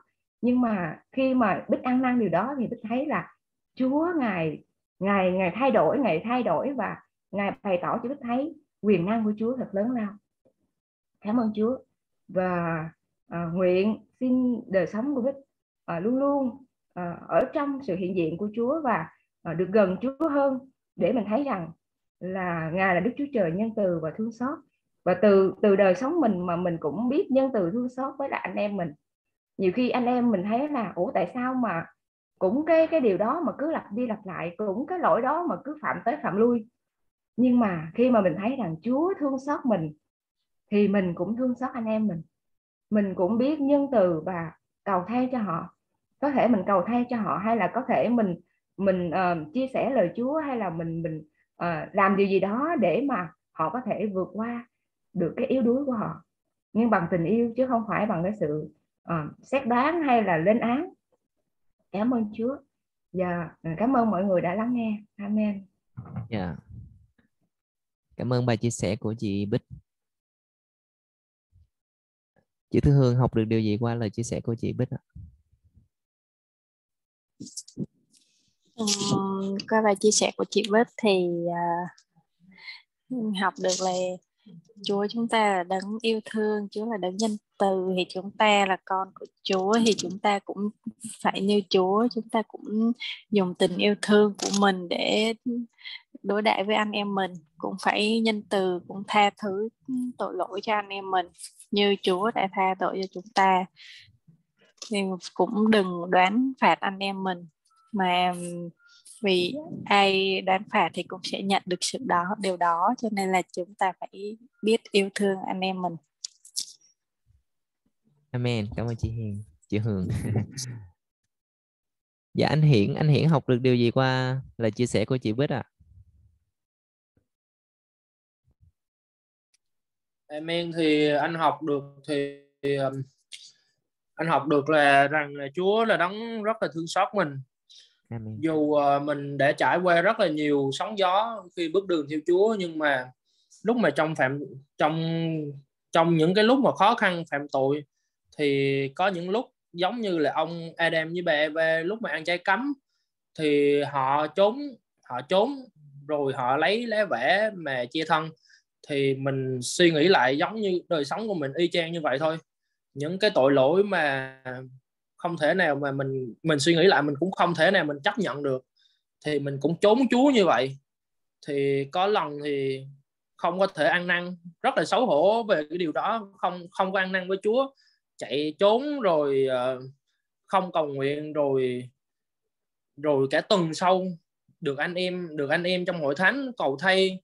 Rồi Chúa cũng ờ, sai những anh em khích lệ cho mình để cho mình uh, có thể mạnh mẽ để quay về ăn năn với Chúa thì uh, mình nhận được sự phục hồi từ Chúa. Nếu như mà không có sự thương xót chứ lại sự nhân từ của Chúa thì mình nghĩ là sẽ không không không thể nào mình không thể nào mà mình được tha tội được. Tại là tội lỗi của mình quá là lớn. Thì anh cũng học được bài học của chị của chị Bích chia sẻ. Dạ em xin hết ạ. à dạ cảm ơn anh Hiển. Dạ con xin mời bác Mạnh. Bác Mạnh ờ, học được điều gì qua bài chia sẻ của chị Bích?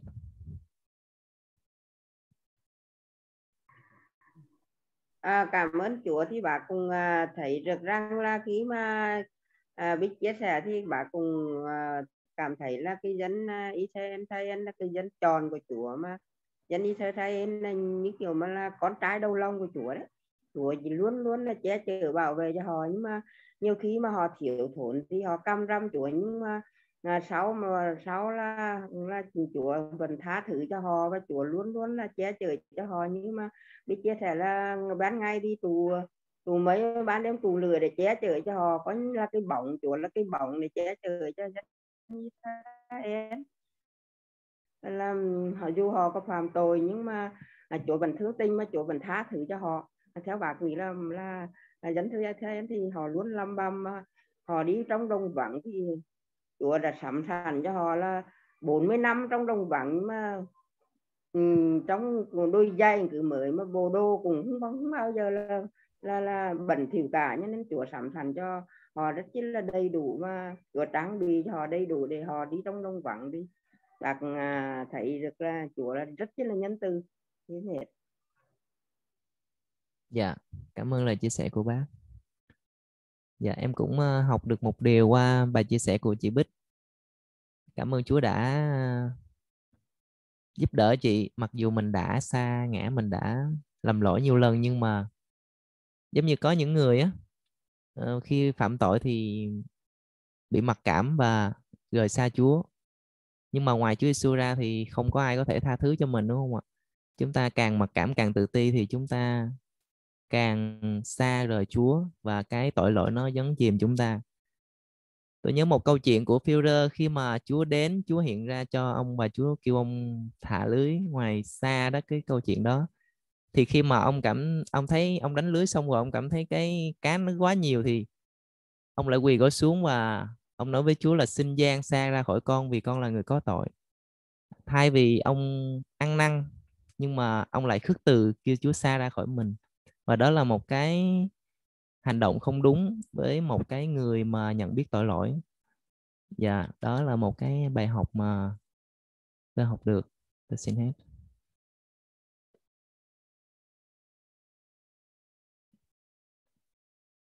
Dạ tiếp theo ờ, xin ờ, mời chị Hà. Chị Hà có sẵn sàng để chia sẻ bài học của mình chưa?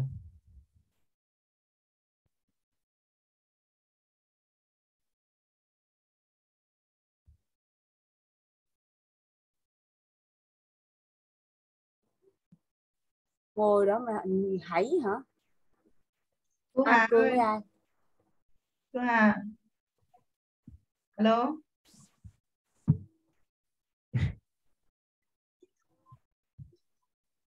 Thu Hà sẵn sàng chia sẻ chưa đến lượt em rồi đó. Dạ ok em xin lỗi bởi vì nhà em cũng hơi ồn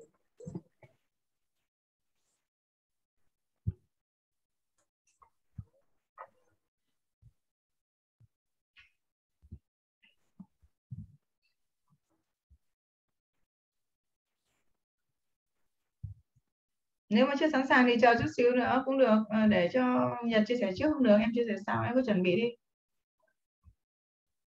Dạ, ok. Vậy thì Nhật chia sẻ trước giùm chị nha. Em xin lỗi. Xin lỗi anh chị em. Dạ.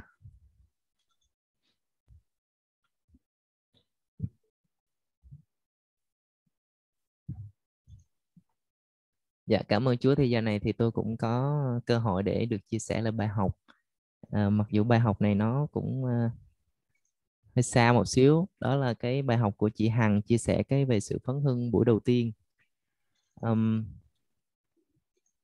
cá nhân tôi khi mà tôi nghe những mục sư á, họ kể lại vào những cái cái năm chín mấy đó có một cái cơn phấn hưng của Chúa đến trên đất nước Việt Nam và từ Bắc vào Nam một điều đó thì tôi nghe kể lại tôi rất là cảm thấy thú vị và um, giống như khi tôi cũng cầu nguyện điều đó và tôi cũng nói là xin Chúa ngài sử dụng con cho cơn phấn hưng cuối cùng của Chúa. Tôi luôn cầu nguyện điều này. Như hôm bữa chị Hằng đã nói một câu là trước khi đến với buổi học này đó thì giống như Chúa ngài gieo một cái hạt giống trong mình đã có trước đó rồi. Dạ tôi cảm ơn Chúa vì điều này. Và khi học qua cái buổi học đó thì à, tôi cảm thấy rút ra được những cái điều gì mà mình cần phải giải quyết để Chúa ngài sử dụng mình cho cơn phấn hưng đó chứ mình không phải sống một đời sống buông thả mọi thứ rồi đến lúc đó Chúa kêu gọi mình cho sự phấn hưng không phải. Nhưng mà qua bài học đó thì tôi cũng um, học được bốn điều. Đó là chị nói về bốn cái cản trở của um, sự phấn hưng. Và điều thứ nhất đó cản trở thứ nhất đó là nhu cầu cần được thanh tẩy. Thì cái điều này um, nếu chúng ta không thanh tẩy thì Chúa ngài không thể phấn hưng chính chúng ta được. Và cái sự thanh tẩy này thì cũng không phải chúng ta thanh tẩy một lần là đủ cả nhưng mà chúng ta phải cần thanh tẩy mỗi một ngày. Bởi vì uh, kinh thánh trong gia cơ cũng nói là chúng ta vấp phạm nhiều cách lắm. Chúng ta mỗi một ngày chúng ta đối diện với nhiều điều và chúng ta cũng bị hay là lầm lỗi nhiều điều thì chúng ta cũng cần thanh, thanh tẩy điều này mỗi một ngày. Chúng ta không phải thanh tẩy một lần là đủ cả um, và trong trong lời Chúa thì nói phước cho kẻ có tấm lòng trong sạch vì sẽ thấy Đức Chúa Trời. Thì điều này tôi nghĩ không phải chúng ta thấy Chúa một cách trực tiếp nhưng mà chúng ta thấy được cái công việc của Chúa và thấy được cái sự bày tỏ của Chúa trên mình. Cho nên chúng ta muốn được Chúa ngày ờ, phấn hương cho chính mình và được, được Chúa ngày sử dụng thì chúng ta cần phải thanh tẩy những điều đó để chúng ta mặc lấy tấm lòng thánh sạch để nhận được cái sự bày tỏ của Chúa trên mình mỗi một ngày. Dạ. Yeah.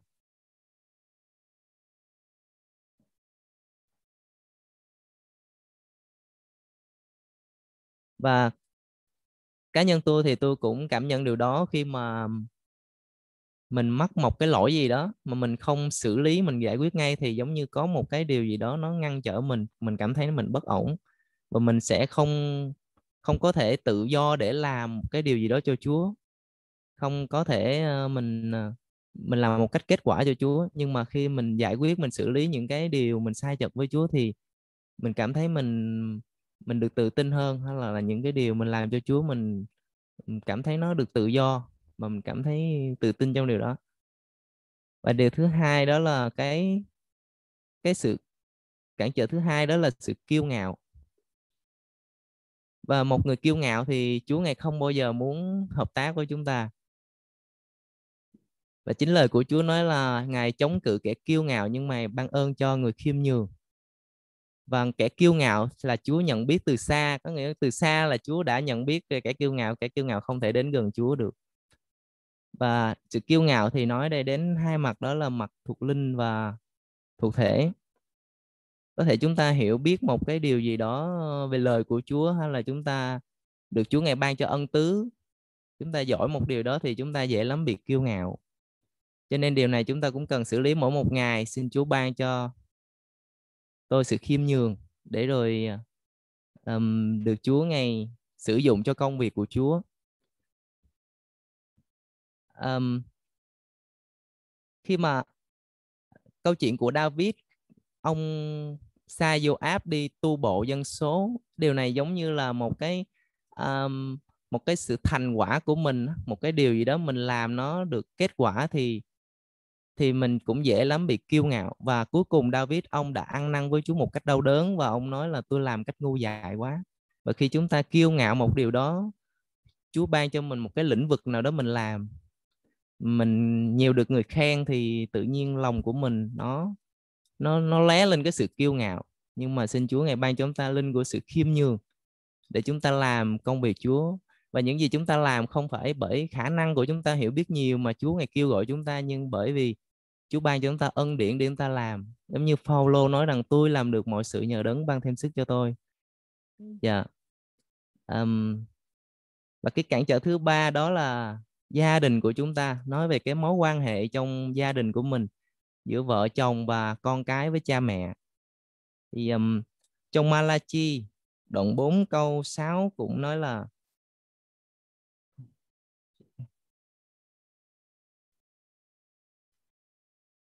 trước ngày lớn của Chúa đó thì ngài sẽ sai đấng tiên tri để đem lòng cha trở lại cùng con cái và lòng con cái trở lại cùng cha mẹ. Và một cái cái cái mối quan hệ trong gia đình đó trước Chúa khi mà Chúa Chúa phấn hưng đời chính đời sống cá nhân của chúng ta rồi thì Chúa ngài cũng muốn phấn hưng trong gia đình của chúng ta mới tới hội thánh tới những đất nước xung quanh chúng ta. Bởi vì khi mà những mối quan hệ trong gia đình của chúng ta không có sự hòa thuận đó đó là cũng là một cái sự cản trở cho chúng ta. Và chúng ta cần phải có một cái sự hòa thuận có một cái sự um, kết nối với nhau. Và và tôi cảm cảm nhận điều này khi mà tôi, mặc dù không phải là gia đình của riêng tôi, nhưng mà tôi ở chung với ba mẹ, nhưng mà khi trong gia đình nó có một cái sự bất hòa nào đó thì chúng ta cũng cảm, tôi, cá nhân tôi cũng cảm thấy nó bất ổn khi tôi làm công việc của Chúa. Cho nên Chúa ngài cũng không muốn điều này xảy ra với mỗi một chúng ta và Chúa ngài muốn chúng ta có một cái cái mối quan hệ hòa thuận trong gia đình. Um, tôi cũng uh, chúc mừng cho những ai mà chưa có gia đình đó mà vẫn có một cái mối quan hệ tốt với gia đình của ba mẹ mình. Hôm bữa tôi cũng thấy ờ, chị Hằng đã có post lên tấm ảnh gia đình ngồi đọc kinh thánh rất là dễ thương. Cảm ơn Chúa vì điều đó. Và điều thứ tư đó là sự độc lập ra khỏi ngài. Điều này chúng ta nói về cái điều mà chúng ta cậy vào sức riêng của mình, cậy vào cái khả năng, cái sự hiểu biết riêng của mình. Và cá nhân mình, một mình mình thì không thể phấn hưng được. Nhưng chúng ta cần có một cái sự kết nối gắn kết với Chúa, có một cái sự gắn bó với Chúa. Bởi vì khi chúng ta gắn bó, gần gũi với Chúa thì chúng ta mới hiểu biết được đường lối của Ngài. Trong thi thiên, Chúa nói Chúa bày tỏ cho môi xe đường lối Ngài. Và nếu mà khi chúng ta độc lập ra khỏi Chúa, chúng ta cậy vào sức riêng của mình thì chúng ta không hiểu biết được cái đường lối cái công việc của Chúa ngày đã và đang sắp làm để chúng ta có thể họ uh, được dự phần trong điều đó và tôi cũng uh, xin hết tại đây tôi muốn chia sẻ dạ, xin cảm ơn mọi người Hallelujah. Thịnh học được điều gì từ chia sẻ của bạn Nhật không? À, thì với bài chia sẻ của bạn Nhật, Nhật thì à, chia sẻ trong cái bài học là bốn điều ngăn cản sự ngăn cản của một đời sống cơ đốc nhân để chúng là phấn hơn. Và trong bốn điều đó thì điều nào cũng rất là quan trọng. Điều thanh tẩy chúng ta phải được thanh tẩy mỗi ngày. Nên uh, sứ đồ Paulo ông viết trong uh, à, thư tín ông nói mỗi ngày tôi phải chết đi. Cái bản ngã của mình. Chúng ta không phải là Ờ, phải cứ tới đầu tháng là xong dự chữ tự thánh rồi đó là thanh tẩy đâu mọi người cứ nghĩ là chữ tự thánh sau là mình được thanh tẩy thánh khiết. Nhưng đối với uh, sứ đồ Phaolô là ổng phải là mỗi ngày tôi phải chết đi cái bản ngã của mình. Đến khi nào là tôi về với Chúa nên cái sự thanh tẩy đó phải đến mỗi ngày của chúng ta. Tại vì trong bản chất chúng ta là cái bản chất tội lỗi nên uh, chúng ta phải thanh tẩy mỗi ngày bởi vì kinh thánh Chúa nói là ngài là thánh nên chúng ta phải là thánh. Về khi chúng ta được thanh tẩy thì chúng ta sẽ trở thành những người thánh trước mặt Chúa. Và cái điều thứ hai là sự kiêu ngạo. Nên là chắc chắn là trong đời sống chúng ta ai cũng có sự kiêu ngạo theo những cấp độ khác nhau. Nên cái điều đó cũng là cái sự ngăn trở Chúa. Và chúng ta phải đến với Chúa trong sự hại mình. Và cái cái cái nguyên tắc ờ, uh, đỡ chúng ta có được sự thánh khiết đó, đó là chúng đó là sự khiêm nhường. Ngược với sự kiêu ngạo là sự khiêm nhường. Chúng ta phải khiêm nhường trước mặt Chúa khiêm nhường trước mặt uh, anh em của chúng ta hội thánh hoặc là những người sống xung quanh chúng ta. Chúng ta phải có một đời sống khiêm nhường. Mà cái đời sống khiêm nhường đó phải xuất phát từ bên trong chứ không phải là mình đôi khi mình giả bộ mình khiêm nhường nhưng bên lòng trong lòng mình lại sự kiêu ngạo. Nên nó rất là nguy hiểm. Nên chúng ta phải có một đời sống khiêm nhường. Còn gia đình thì rất là quan trọng. Nếu mà mình không cẩn thận như thịnh thì chú cho cái gia đình sớm có con nhưng chú cũng dạy cho mình phải quản trị gia đình của mình nuôi dạy con cái theo đường lớn của mình và chăm sóc vợ để giúp vợ tăng trưởng đức tin. Cho đôi khi thịnh đi tới nhiều hội thánh thịnh thấy cái người chồng là mục sư mà cái người vợ giống như là à, không có cùng gánh. Giống như là trong kinh thánh tôi nói một con một một con bò không thể gánh ách chung với một con lừa được. Nếu cái nghĩa điên nó cũng đúng không có có ai mà à, đem con bò với con lừa đi cày được chúng ta phải đem con bò với con bò thì hai con nó cùng sức với nhau nó mới đi cày được. Nên đời sống thuộc linh vậy nếu mà người chồng ở mức độ thuộc linh chín nhưng đời sống của người vợ mức độ thuộc linh cái hai ba thì ma quỷ nó đánh đánh người vợ ờ, ảnh hưởng đến người chồng. Và ảnh hưởng đến người chồng thì sao? Cả họ thánh ảnh hưởng luôn, cuối cùng họ thánh tan nát luôn. Nên rất là nguy hiểm. Nên nếu mà chúng ta có vợ chồng muốn chúng ta phục vụ Chúa thì chúng ta phải có đời sống thuộc linh với vợ cùng gánh. Ví dụ mình chín, vợ mình phải tám. Hai người cùng song song với nhau, cùng kéo cái cày để đi về phía trước. Còn nếu vợ mình gánh không nổi mình phải à, giúp đỡ vợ mình. Nên cái điều đó là quan trọng con cái cũng vậy. Và cái điều cuối cùng bạn Nhật chia sẻ là cái sự tự lập. Cái cái điều này thì nó, nó ảnh hưởng tới những người mà nhận biết lời Chúa nhiều hơn. Những người mà nằm ở mức mức độ là trưởng thành thuộc linh có một chút về sự hiểu biết lời Chúa. Cứ nghĩ mình tại đây mình biết lời Chúa rồi mình không cần ai nữa mình không cần học hỏi nữa. Mình cũng không cần nghe một sư giảng nữa tự mình. Hoặc là cuối cùng mình kiêu ngạo. Nên cái tự độc lập bản thân mình rất là nguy hiểm. Nếu mà độc lập thì Chúa đâu cần tạo Eva làm gì. Nên Chúa tạo chúng ta có một hội thánh, có một cộng đồng, có những anh em cùng đức tin. Để chúng ta thông công, chúng ta xây dựng cái mối quan hệ với nhau và chúng ta cùng tăng trưởng. Nên kinh thánh Chúa nói một người à, thì địch được 100 người, nhưng hai người địch được một ngàn người. Một người có thể bị dễ dễ bị té, dễ bị ngã, dễ bị ăn hiếp, nhưng cả hai người thể chống lại. Một giây ba tao khó mà đứt. Thì chúng ta phải có sự hỗ trợ với những anh em xung quanh. Nhưng quan trọng nhất là chúng ta phải cần sự hỗ trợ Chúa trên đời sống chúng ta nên thịnh học được uh, cái điều đó từ bạn Nhật cảm ơn Chúa. Ta cảm ơn dạ. mọi người.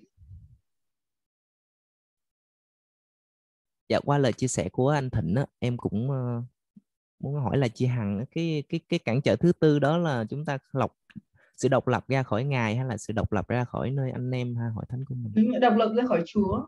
Dạ chắc là thịnh bị miss chỗ này hoặc là thịnh uh, có thể thịnh chia sẻ thêm về cái vấn đề độc lập với lại anh em hoặc là với lại hội thánh nhưng mà ở đây uh, trong lý này độc lập với Chúa yeah.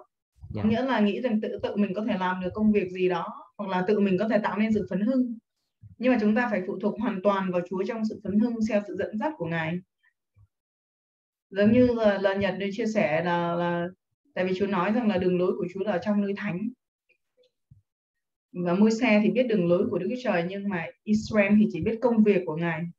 Có nghĩa là chúng ta phải hoàn toàn nương dựa vào nơi Ngài. Trong nơi thánh là nơi mà chúng ta gần gũi với Chúa, nơi mà chúng ta, ở gần Ngài thì chúng ta mới biết được đường lối của Ngài. Bởi vì đường lối của Chúa là ở trong nơi thánh là nơi mà chúng ta gần gũi với Ngài.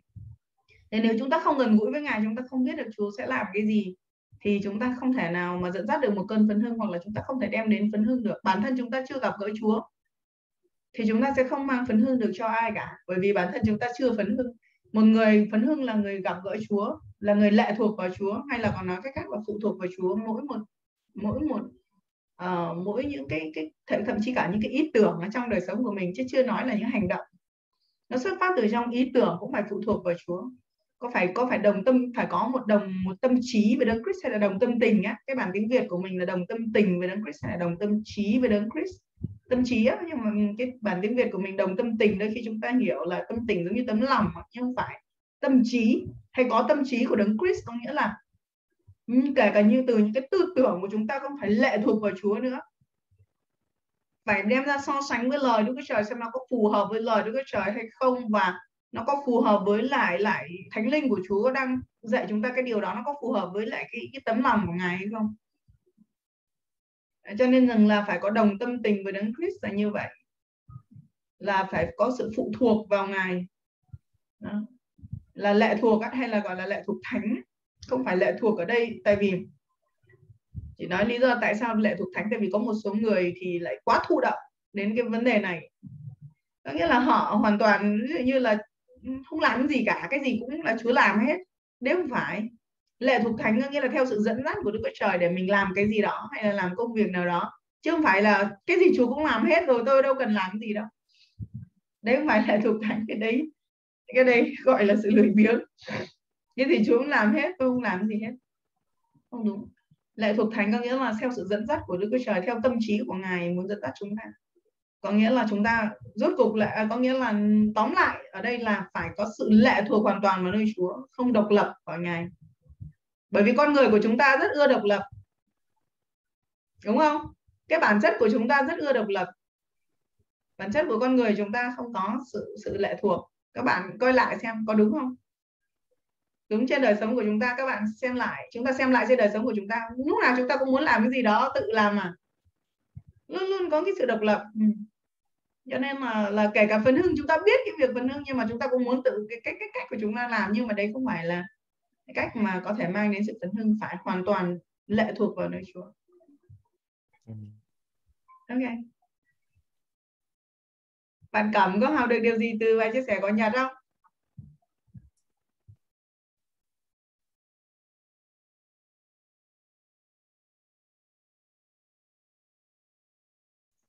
alo cảm ơi cảm đi đâu rồi không alo anh ơi có nghe có nghe được bài chia sẻ của nhật không? Mấy em Nhật em nghe được được đoạn được khỏe không vì ờ, đang xây sửa máy giấy kia tưởng à thế là đang làm à? Vâng. À, thế đi thôi không sao. Là bạn đang làm. À, bây giờ ờ, trước khi thu hà chia sẻ thì chúng ta sẽ có cái phần câu hỏi. Thu Hà với Thịnh còn các hai người nữa chia sẻ nốt Thu Hà với Thịnh nhé à, chúng ta sẽ có phần câu hỏi có ai hỏi gì không? Trước khi chúng ta sẽ đi vào uh, bài chia sẻ. Ngắt quãng chút xíu. Dạ, tôi xin lỗi có câu hỏi ạ. À, vâng xin mời bác khích.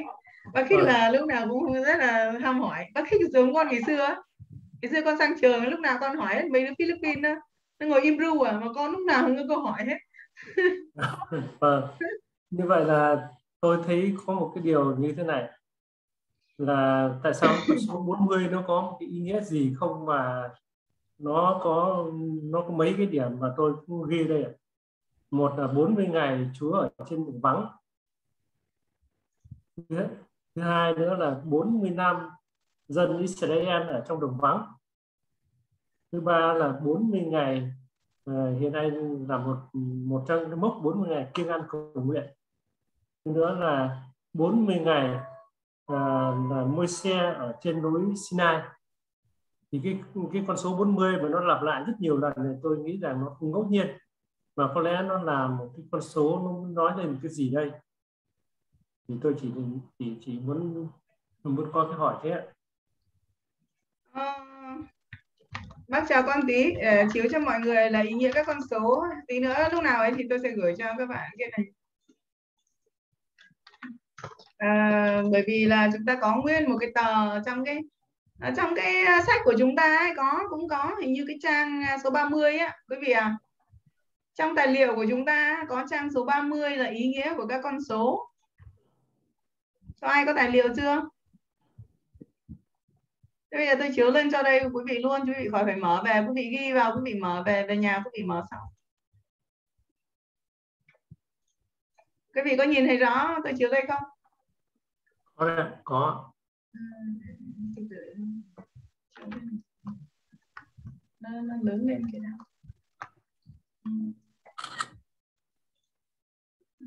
Để tôi trang số trang số 40 trang số 30 ạ, à, trang số 30.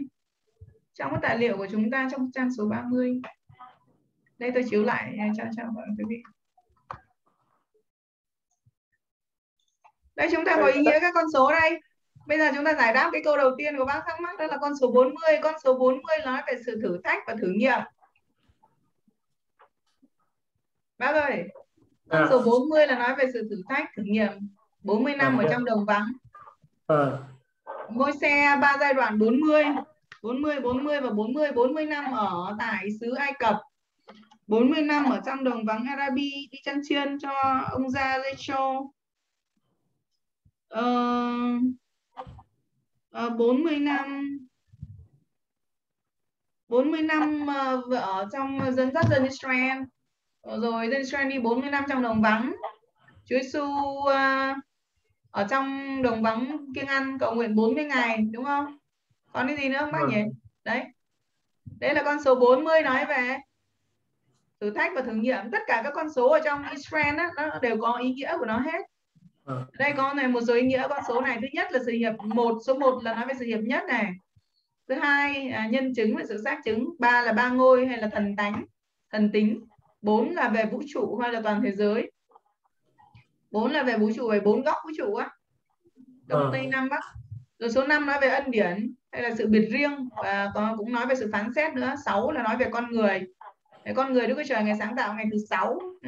Số 6 là nói về con người để chúng ta biết là sau này Antichrist cũng có con số 666 á, đó là số của một con người có nghĩa là nó là một con người à, số 7 là nói về sự hoàn hảo sự đầy đủ sự yên nghỉ cũng nói về sự không thanh sạch nữa và chúng ta biết rằng số 7 này nói về sự hoàn hảo và sự yên nghỉ là chúng ta biết là ngày thứ bảy là Chúa nghỉ công việc ngày làm đúng không? Hoàn hảo hoặc vâng. trọn vẹn á. Số 7 cũng nói về sự trọn vẹn nữa. Số 8 là nói về phục sinh khởi đầu mới, số 9 là nói về chín trái của nói về Chúa Thánh Linh, chín trái hoặc là chín ân tứ. Chín bông trái của Đức Thánh Linh hoặc chín ân tứ của Đức Thánh Linh. Số 10 nói về sự thử thách, nói về luật pháp và nói về sự trật tự. Số 11 là nói về không đầy đủ lộn xộn. à, sự lộn xộn. Rồi số 12 nói về sự cai trị chúng ta thấy có rất nhiều số 12 12 chi phái Israel 12 uh, ờ, gì chúng ta có 12 tháng ở trong năm rất là nhiều con số 12 uh, mười, uh, số 12 nói về sự cai trị hoặc là số 12 nói về về về các bậc cầm quyền. Ờ, người governor là những người cai trị những người cầm quyền nói về sự cầm quyền nói về sự nói về sự sự cai trị nói về sự lãnh đạo. Ờ, à, 13 nói về sự nổi loạn sự chuộc tội. 14 là chứng nhân hoàn hảo. À, sự biển việc riêng thiên tượng đấy nó có những cái con số đây trong trang 20 ấy quý vị có thể về quý vị xem được. Rồi vậy thì giải đáp câu thắc mắc của bác chưa? Vâng ạ. Vâng, cảm ơn vâng. Có ai hỏi gì nữa không? Có câu hỏi nào nữa không ạ, các bạn?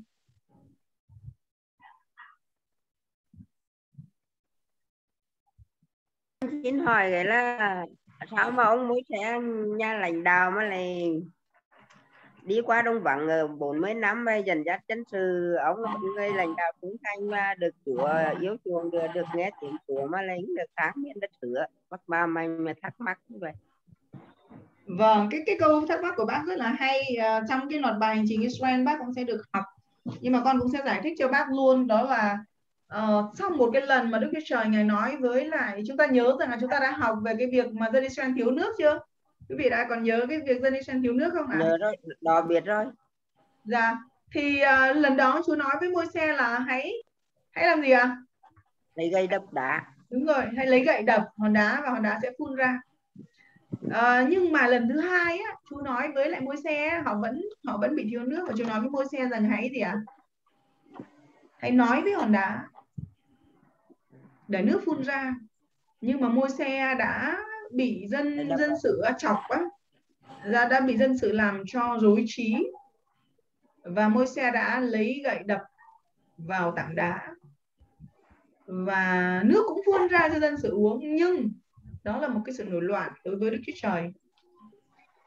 À, bởi vì là nó có cái ý nghĩa rất là quan trọng. Nó có ý nghĩa rất là quan trọng bởi vì kinh thánh nói với chúng ta rằng đá đó chính là đấng Christ. Dân số ký đoạn 20 câu 12 và phục truyền lời ký đoạn 3 câu 23 đến 28 à, ờ, thứ nhất là Chúa nói với môi xe là trong cái việc đó môi xe đã không tôn thánh Chúa trước mặt con cái Israel có nghĩa rằng là đối với Chúa thì khi mà Chúa nói với Môi-se thì Môi-se phải vâng lời và phải tôn thánh Chúa.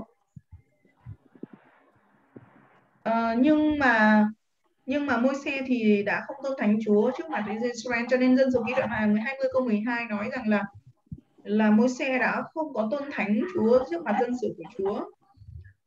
À, và vì là Chúa yêu cầu cái tiêu chuẩn rất là cao đối với những lãnh đạo đối với những người bình thường hay là những người mới tin đạo thì đôi khi ấy, cái tiêu chuẩn của họ chú không có yêu cầu tiêu chuẩn quá cao bởi vì có nhiều điều họ không biết. Nhưng đối với lãnh đạo là cái người biết rồi là người nghe rõ tiếng của Chúa nhưng mà không làm thì có những cái sự đoán phạt nặng nề hơn. À, rồi tiếp theo đó là cái việc mà ông đã giận dữ đập vào hòn đá đó kinh thánh cho chúng ta biết trong Cô-rin-tô nhất đoạn 10 câu 14 đó là đá đó chính là đấng Christ. Cái việc đập vào hòn đá lần thứ hai đó là việc nói đến việc đó là gì ạ? À? là là gì? Chúa Giêsu không thể bị đóng đinh hai lần được. Chúa Giêsu chính là hòn đá. Kinh Thánh nói rằng Chúa Giêsu của chúng ta là đá tảng hay là vầng đá của mọi thời đại. Khi mà nói đến đá ở trong Kinh Thánh ấy, là phần lớn nói về Chúa Giêsu hòn đá của sự cứu rỗi tôi hòn đá của mọi thời đại là đá tảng đá gốc nhà nói về Chúa Giêsu và môi xe biết cái bài học thuộc linh này. Bởi vì môi xe là người biết Chúa lần thứ nhất đó, Chúa nói rằng hãy đạp đá có nghĩa rằng đóng đinh Chúa Giêsu Chúa Giêsu sẽ bị đây là hình ảnh mà Chúa Giêsu sẽ bị đóng đinh để sự sống của Chúa tuôn trào. Nước tuôn trào ra nói về sự sống. Nước là nói về sự sống.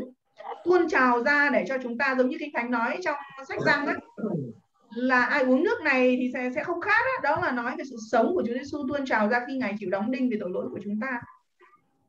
Nhưng mà cái hành động đập đá lần thứ hai đó nói về việc đó là gì à? Chúa Giêsu ngài ngài ngài ngài ngài không thể. Ngài ngài Đức Chúa Trời ngài sẽ không thể để Chúa Giêsu ngài chịu khổ lần thứ hai.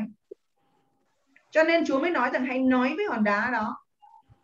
À, nhưng mà môi xe đã vì giận dữ và đập hòn đá đó. À, cho nên rằng là đã không được vào đã không uh, môi xe đã đã không được vào xứ hứa. À, chúng ta thấy rằng là là có vẻ có vẻ cái tội lỗi của môi xe là không nghiêm trọng. Nhưng mà đối với lãnh đạo á, thì Chúa yêu cầu phát triển cái phẩm chất cao hơn so với lại dân sự. Chúa yêu cầu phát triển cái phẩm chất cao hơn, Chúa yêu cầu cái sự vâng lời tuyệt đối hơn. Dĩ nhiên rằng là chúng ta biết rằng là môi xe ở trong cái trường hợp này môi xe phải là hình bóng phải là tấm gương cho những cái người lãnh đạo có nghĩa là phải là cái bài học á. Nhưng mà trên thực tế thì chúng ta biết rằng là kinh thánh nói rằng là môi xe là một trong hai người có thể nói là vĩ đại nhất luôn ở trước mặt Chúa ấy. Bởi vì môi xe và Eli á, trong Sacheri nói cho chúng ta biết và Khải Huyền nói cho chúng ta biết rằng là hai người này sẽ sống lại trong thời kỳ cuối cùng này là hai đấng tiên tri duy nhất và hai người này cũng là hai người duy nhất đó. tiên tri Eli và tiên tri uh, môi xe là hai người duy nhất gặp Chúa Giêsu ở trên núi hóa hình. Và hai người này cũng sẽ sống lại trong thời kỳ cuối cùng này nói tiên tri trước ngày của Chúa Giêsu tái lâm. Cái bà cái câu nào của bạn bạn Nhật vừa mới đọc á, là đấng tiên tri Eli sẽ đến trong ngày cuối cùng này á, nói về tiên tri Eli sẽ đến nhưng mà một người khác nữa chính là môi xe mà trong Sacheri á Sacheri bạn nào có thể mở là Sacheri đoạn 4 Sacheri đoạn 4 cũng nói về về về hai cây olive chính là hai người này chính là tiên tri Eli và tiên tri Môi-se. hai người này sẽ sẽ sẽ đến. Khải Huyền cũng nói Khải Huyền đoạn 11 thì phải. Để tôi mở ra cho chính xác để quý vị có thể ghi, ghi lại quý vị có thể về quý vị nghe. À, quý vị có thể đọc về về nhà đọc thêm câu kinh thánh này. À, sách Sachari tiên tri Sachari đoạn số 4 à, câu số 14 người bè nói với rằng với người bè nói rằng ấy là hai người chịu sức đầu đứng bên Chúa của cả đất. Nói đây là nói về hai hai cây olive này là nói về tiên tri Eli và tiên tri Môi-se. À, thế còn Khải Huyền thì như đoạn 11 ạ. Là nói về việc hai người này sẽ đến trước cái ngày Chúa Chúa tái lâm. Trong câu số 4 đoạn 11 câu số 4 sách Khải Huyền. Khải Huyền đoạn 11 câu 4 hai người làm chứng ấy tức là hai cây olive và hai chân đèn đứng trước mặt Chúa của thế gian. À, xin lỗi ở cái câu số à, số số 3 ở cái câu số 3 là nói về ta sẽ cho hai người làm chứng ta mặc áo bao gai đi nói tiên tri trong một hàng hai à, hai trăm sáu mươi hai ngày. Câu 4 thì nói là hai người đó tức là tức là hai cây olive mà trong cái sách sách chúng ta mới đọc. Có nghĩa rằng là môi xe phải là một cái tấm gương hay là một cái bài học để dạy dỗ những người lãnh đạo rằng Đức Chúa Trời ngài là đấng nghiêm trách ngài là đấng ngài là đấng rất là nhân từ nhưng mà đối với những người đã biết ý chỉ của ngài rồi á thì sẽ bị xét đoán nặng hơn sẽ bị xét đoán nghiêm khắc hơn so với những người khác đúng không ạ Amen. Nên Chúa nói rằng là chớ có nhiều người tự lập nên làm thầy bởi vì sẽ bị xét đoán càng nghiêm hơn. Đối với lãnh đạo, đối với những người hầu việc Chúa lâu năm, những người đã biết Chúa rồi mà không vâng lời Chúa sẽ bị xét đoán nặng hơn. Đã được ban cho nhiều thì sẽ bị đòi lại nhiều. Đấy, nhưng mà nhưng mà ý con nói ở đây đó là gì môi xe phải làm tấm gương nhưng mà trên thực tế là ông là một trong những cái người vĩ đại nhất mà mà mà từng sống luôn á ở kể cả trước mặt Chúa luôn. Ông cũng là một trong những cái người vĩ đại trong cái vương quốc hầu đến trong vương quốc sẽ đến này. Nhưng mà ông sẽ phải làm một cái tấm gương để cho thấy rằng là cái sự nghiêm nghiêm nghị của Đức Chúa Trời như thế nào đối với những người lãnh đạo mà vẫn nghe tiếng Chúa mà vẫn không vâng lời. Chúa là đấng yêu thương nhưng mà ngài cũng là đấng nghiêm khắc. Cho nên chúng ta càng kính sợ Chúa nhiều hơn. Amen bác mạnh. Amen. Cảm ơn Chúa. Chúa ban cho cái cháu. Ăn vâng ạ Đấy, câu hỏi này rõ rồi đúng không ạ? Có ai thắc mắc gì về câu hỏi này thêm không ạ? Thắc mắc ý của bác mạnh hay là thêm không? À, bây giờ xin mời uh, thịnh à thịnh có, có câu hỏi không? Mời thu hà đi. Thu hà chia sẻ đi. Thu hà nói là em xin phép chia sẻ. Dạ. Các cô các bé thì có những lúc hơi ồn nhà nhiều con nít quá. Rồi bây giờ em sẽ xin chia sẻ những cái bài học em học được ở trong môn sáng thế ký. Ừ, thứ nhất là em học được ở hôm bữa là chúng ta học được về con người được tạo dựng với ba phần thân thể linh hồn và tâm linh. Thể xác thì được đức chúa trời nắn nên từ bụi đất. Adam được đức chúa trời nắn nên từ bụi đất. Và chúng ta cũng sẽ sau này chúng ta cũng sẽ trở về với đất, với bụi đất khi mà chúng ta chết ở sáng thế ký đoạn 3 câu 19 và ở thi thiên đoạn 1 đoạn 146 câu 4 thứ hai nữa là phần việc đó là phần lệ chép. À, hay là em cũng nhớ ở trong à, em cũng nhớ ở trong Job cũng nói rằng là ông từ đất mà ra thì ông cũng sẽ trở về với người đất ở trong gió của đoạn 1 và linh hồn uh, thứ hai nữa là phần linh hồn hay còn gọi là phần hồn đó, thì hồn là có ở trong máu ở Ly Vi ký đoạn 17 câu 11 có chép. Và phần hồn thì có ba phần đó là ý chí. Ý chí thì là nơi mà con người mà có ý uh, có ý chí tự do để quyết định mọi việc hay là không. Và cái phần ý chí thì không có bị bó buộc hay là không có bị điều khiển. Uh, lý trí thì thì lý trí bao gồm có lý, trí tuệ và lương tâm hay là khả năng suy nghĩ, tính toán, tưởng tượng của cái, của con người. Còn phần tình cảm thì bao gồm là cảm xúc hay là yêu thương, vui buồn. Bao gồm đó, những cái mà hỉ nộ ái ố gì đó thì là ở trong phần tình cảm. Và nhờ phần hồn thì con người hay là chúng ta được liên kết hay là có cái sự quan hệ trao đổi, những cái tình cảm, yêu thương với, đối với nhau.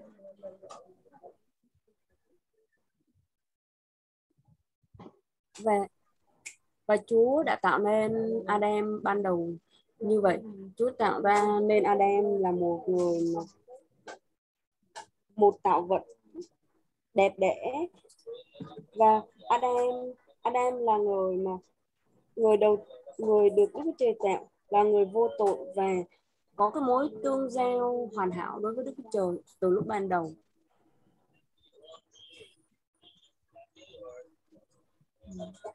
Và phần hồn của chúng ta thì cần phải được trị phục hay hay là khi chúng ta tin Chúa thì chúng ta cần phải đầu phục cái phần hồn của mình cho Chúa để chúng ta có thể trở về được cái uh, vị trí như ban đầu mà mà trước đây Adam đã đánh mất. Hay là khi Đức Trời tạo dựng nên Adam và Eva thì phần phần linh của họ, cai trị họ. Nhưng mà khi khi mà họ đánh mất đi cái cái điều, khi mà họ phạm tội, họ đánh mất cái điều đó thì họ đã không còn cái cái phần linh, họ không có để cho phần linh cai trị họ nữa. Và họ không còn có vì cớ rằng họ đã cắt đứt đi cái mối tương giao đối với Đức Chúa Trời. Và lúc cái lúc họ phạm tội thì hồn đã cai trị họ. Họ để cho ý chí của họ quyết định và vân không có vâng theo ý muốn của Đức Chúa Trời nữa. Vì vậy nên là khi chúng ta tin cậy uh, tin tin Chúa thì chúng ta cần phải đầy dạy Đức Thánh Linh để con người tâm linh của mình được Đức Chúa Trời dẫn dắt và để cho phần linh hồn của mình phải chịu phục tâm linh của mình. Và phần thứ ba, phần tâm linh thì là, đây là cái phần quý nhất trong cái con người của mình. Đức Chúa Trời đã ở tháng thế ký đoạn 1 thì Chúa nói rằng là khi mà Đức Chúa Trời tạo dựng nên người nam thì ngài hà hơi vào, hà hơi sống, hà hơi sống vào Adam để Adam trở nên một cái cái thần uh, sinh linh sống động thì cái phần linh đó của chúng ta cũng được cái Trời hà hơi. Và là nơi mà con người của chúng ta liên lạc với thế giới thần linh hay là ừ, trong đó có uh, hay là chúng ta cũng có thể trong đó chúng ta có thể thờ phượng Đức Chúa Trời. Và và nếu mà những cái người mà họ không có thuộc về Đức Chúa Trời thì cái phần linh đó cũng là sử dụng để thờ phượng ma quỷ.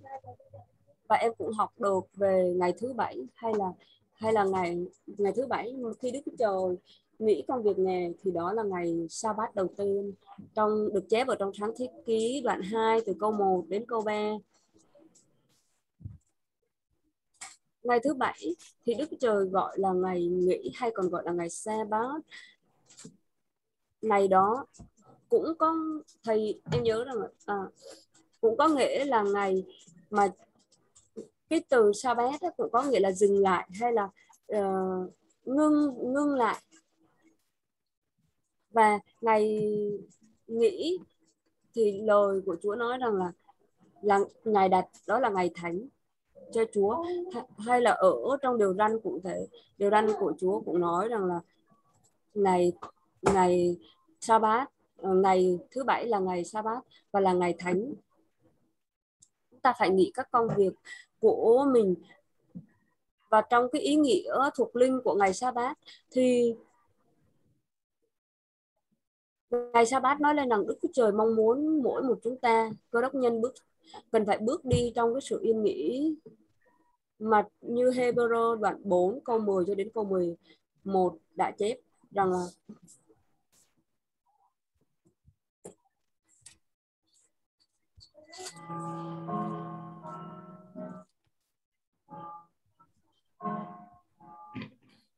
Vì ai vào sự yên nghỉ của Đức Chúa Trời thì nghĩ công việc mình, cũng như Đức Chúa Trời đã nghĩ công việc Ngài vậy.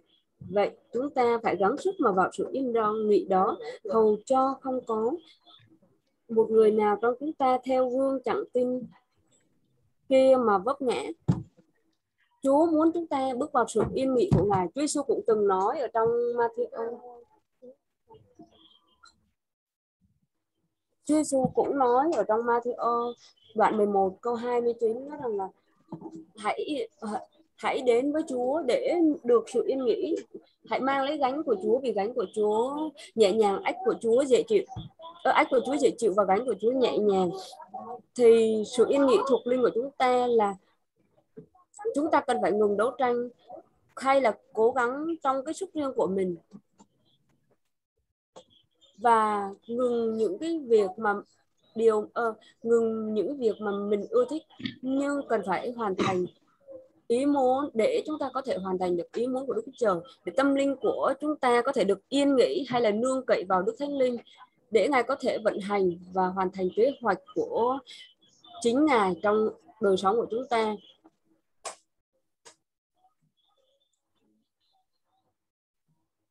Tiếp theo nữa, em cũng học được ở tại uh,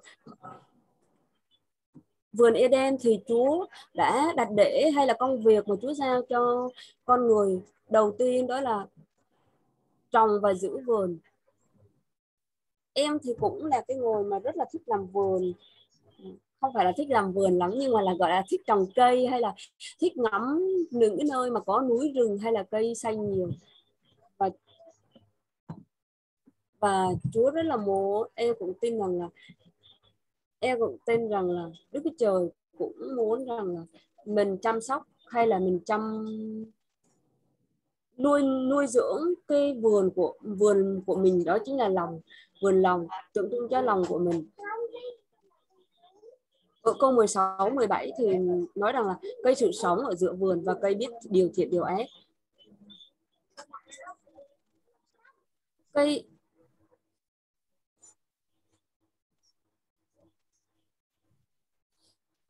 và hai cây này ở giữa vườn thì cũng là một cái cái điều mà Chúa đặt để đặt để ở đó để có thể thử thách đời sống của Adam.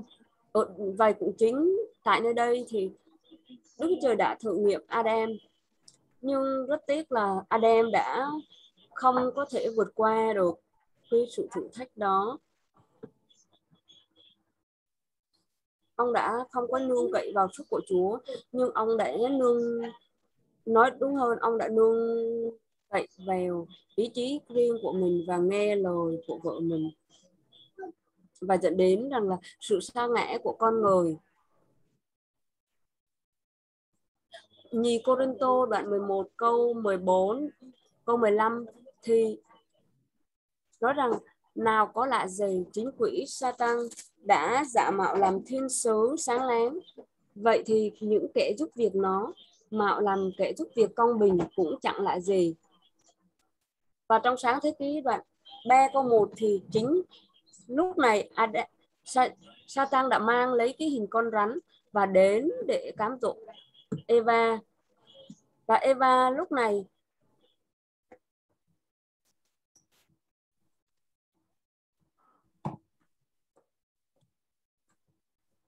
đã bị con con rắn dùng những cái lời nói để cám dỗ. Và nó thường dùng, sử dụng rất là nhiều cách để cám dỗ. Giống như Chúa Giêsu đã bị ma quỷ cám dỗ khi ngài kiêng ăn và cầu nguyện 40 ngày tại đồng vắng.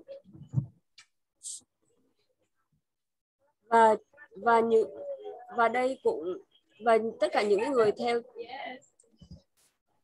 và tất cả những người mà theo Chúa Giêsu thì chúng ta cũng bị Satan và ma quỷ cám dỗ rất là nhiều cách. Tuy nhiên thì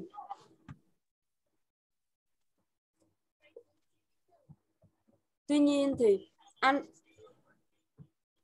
Adam sau cùng là Chúa Giêsu đã thắng hơn ma quỷ và chính vì điều đó mà ngày hôm nay chúng ta tin Chúa Giêsu thì chúng ta cũng sẽ được thắng và chúng ta cần phải noi gương ngài để chúng ta có thể được chiến thắng được ma quỷ.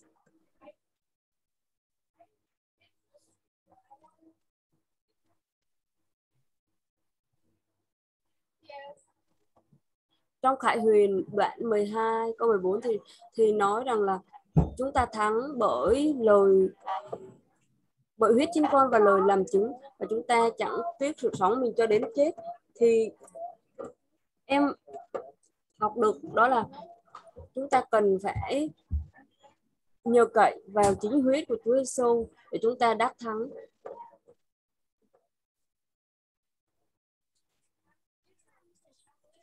Và những cái lý do mà Satan thường đem để mang cái sự cám dỗ hay là mang cái sự nghi ngờ đến cho Eva?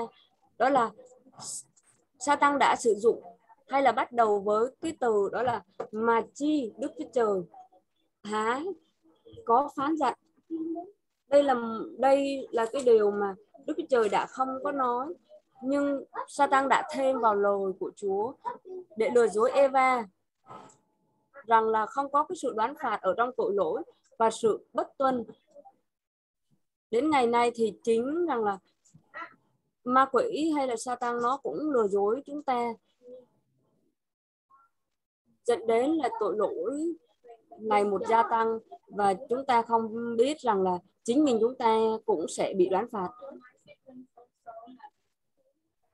Và vì cớ đó mà, vì cớ đó mà Eva đã bị con rắn lừa dối và bà đã đưa tay lên hái trái cây của cây biết điều thiện điều điều ác, và sau đó bà đưa cho chồng mình là Adam. Adam đã phạm tội vì cớ rằng vợ mình hay là ông đã dành tình yêu cho vợ mình lớn hơn, tình yêu mà ông dành cho Đức Chúa Trời. Đó là hậu quả của ông, đó là chúng ta đã, ông đã khiến cho cả loài người phạm tội và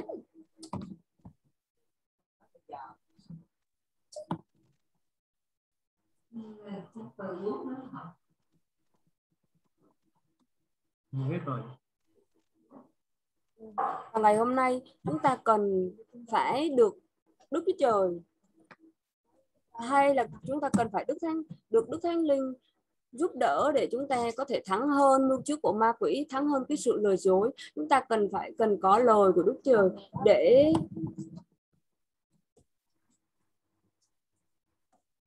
không có bị ma quỷ lừa dối. Chúng ta cần học để hiểu lời của Chúa để không có bị những cái mưu trước hay là những cái kẻ mà ngày hôm nay sa tăng ma quỷ đã sử dụng vào. Đó là những cái đạo lạc, những cái tiên tri giả đã lẫn vào để lừa dối chúng ta, thì chúng ta cần phải sử dụng lời của Chúa. Chúng ta phải thắng hơn và chúng ta không có phải bị vấp phạm giống như Eva vì cớ rằng là bà nghi ngờ. Nghi ngờ những cái sự tốt đẹp mà Đức Trời đã mang đến cho bà. Điều điều đó, đây là một cái bài học mà em có thể học được, đó là mình cần phải sử dụng lời của Chúa để chiến đấu lại những sự cám dỗ, hay là chúng ta nhờ cậy vào nương vào Đức Thánh Linh để chúng ta có thể phân biệt được để chúng ta có thể đắc thắng hơn những cái sự yếu đuối của trong con người chúng ta, những cái sự hiểu biết mà nông kẹt, cạn thiếu kém ở trong con người của chúng ta. Và bài chia sẻ của em đến đây là kết thúc. Nguyện xin Chúa ban phước cho ông bà, anh chị em. Amen. Cảm ơn chị Hà. Dạ chị ờ, xin hỏi chị Bích ờ, học được điều gì qua bài chia sẻ của chị Hà? Dạ yeah, amen. À, cảm ơn Chúa cảm ơn Hà. Thì Bích học là Adam là hình ảnh của phần phần hồn. Tại vì Adam đã phạm tội nên uh, nó mang những cái cái uh, phần hồn những cái uh, uh, điều mà mà mà uh, trái nghịch lại với là ý muốn của Chúa. Và và, và Chúa Giêsu là hình ảnh của phần phần linh. Chúa Giêsu là hình ảnh phần linh và Đức Chúa Trời ngài muốn là à, à, linh linh mình cai trị. Linh mình cai trị phần hồn chứ không phải để hồn cai trị phần linh. Và để được điều đó thì mình phải nương dựa vào Đức Chúa Trời và à, qua lời của ngài giống như Hà chia sẻ qua lời của ngài và mình à, nương cậy vào Chúa. Giống như là, cô Hằng cũng nói là lệ thuộc vào Đức Chúa Trời. Lệ thuộc vào Đức Chúa Trời. Mình không phải mình theo những cái cảm xúc của mình à, mình để phần hồn điều khiển hay là để cái ý chí của mình nó để điều khiển. Nhưng mà à, bằng sự lệ thuộc vào Chúa à, bằng cái sự à, chỉ dẫn qua lời của Chúa thì mình mình sẽ để cái linh của mình nó nó cai trị và khi đó thì mình sẽ thấy là có sự à, đắc thắng tội lỗi và à, có sự bình an của Chúa. Amen. Bích xin hết ạ. À. yeah. Amen. Cảm ơn chị Hà ờ, chị Bích. Dạ, xin hỏi chị Hương học được điều gì qua bài học của chị Hà? Qua bài chia sẻ của chị Hà, nãy chị Hà thầy em chị Hà có nói là Satan thêm vào lời của Chúa nhưng mà em nhớ hôm bữa là Eva là người đã thêm vào lời của Chúa. Là ở trong sách sáng thế ký đoạn 3 là Eva nói với con rắn là cái cây là Chúa nói là cái cây ở, ở cây biết điều thiện điều ác là không được ăn với không được sờ. Nhưng mà ở đoạn 2 thì Chúa nói là không được ăn thôi nhưng mà Eva là những người đã thêm vào lời của Đức Chúa Trời cho nên là à, chúng ta phải qua bài chia sẻ của chị Hà thì em thấy là chúng ta phải luôn luôn phải tỉnh thức chúng ta phải học lời của Chúa nhiều hơn chúng ta phải đọc lời của Chúa nhiều hơn để chúng ta nắm rõ được lời của Chúa. Tại vì cho xong, trong cái thời kỳ này thì có nhiều cái tà giáo, họ cũng sử dụng ừ, kinh thánh này kia, nhưng mà họ đã sửa kinh thánh rồi họ thêm vào nhiều điều cho nên là nếu mà chúng ta không nắm rõ lời của Chúa thì chúng ta sẽ rất dễ bị họ lôi kéo và chúng ta sẽ bị sa ngã vào điều đó.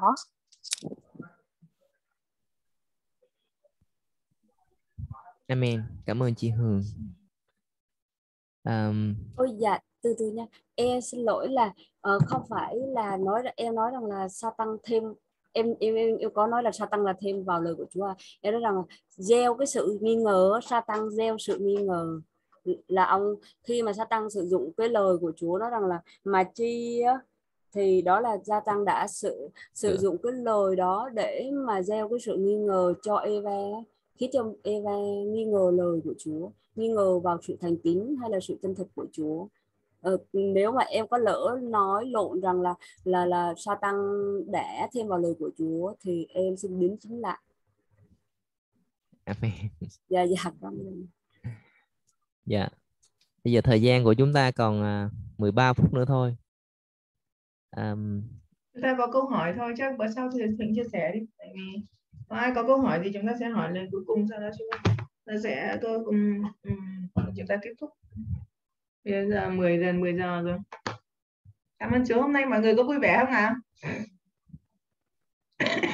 được khích lệ không ạ? À? Amen.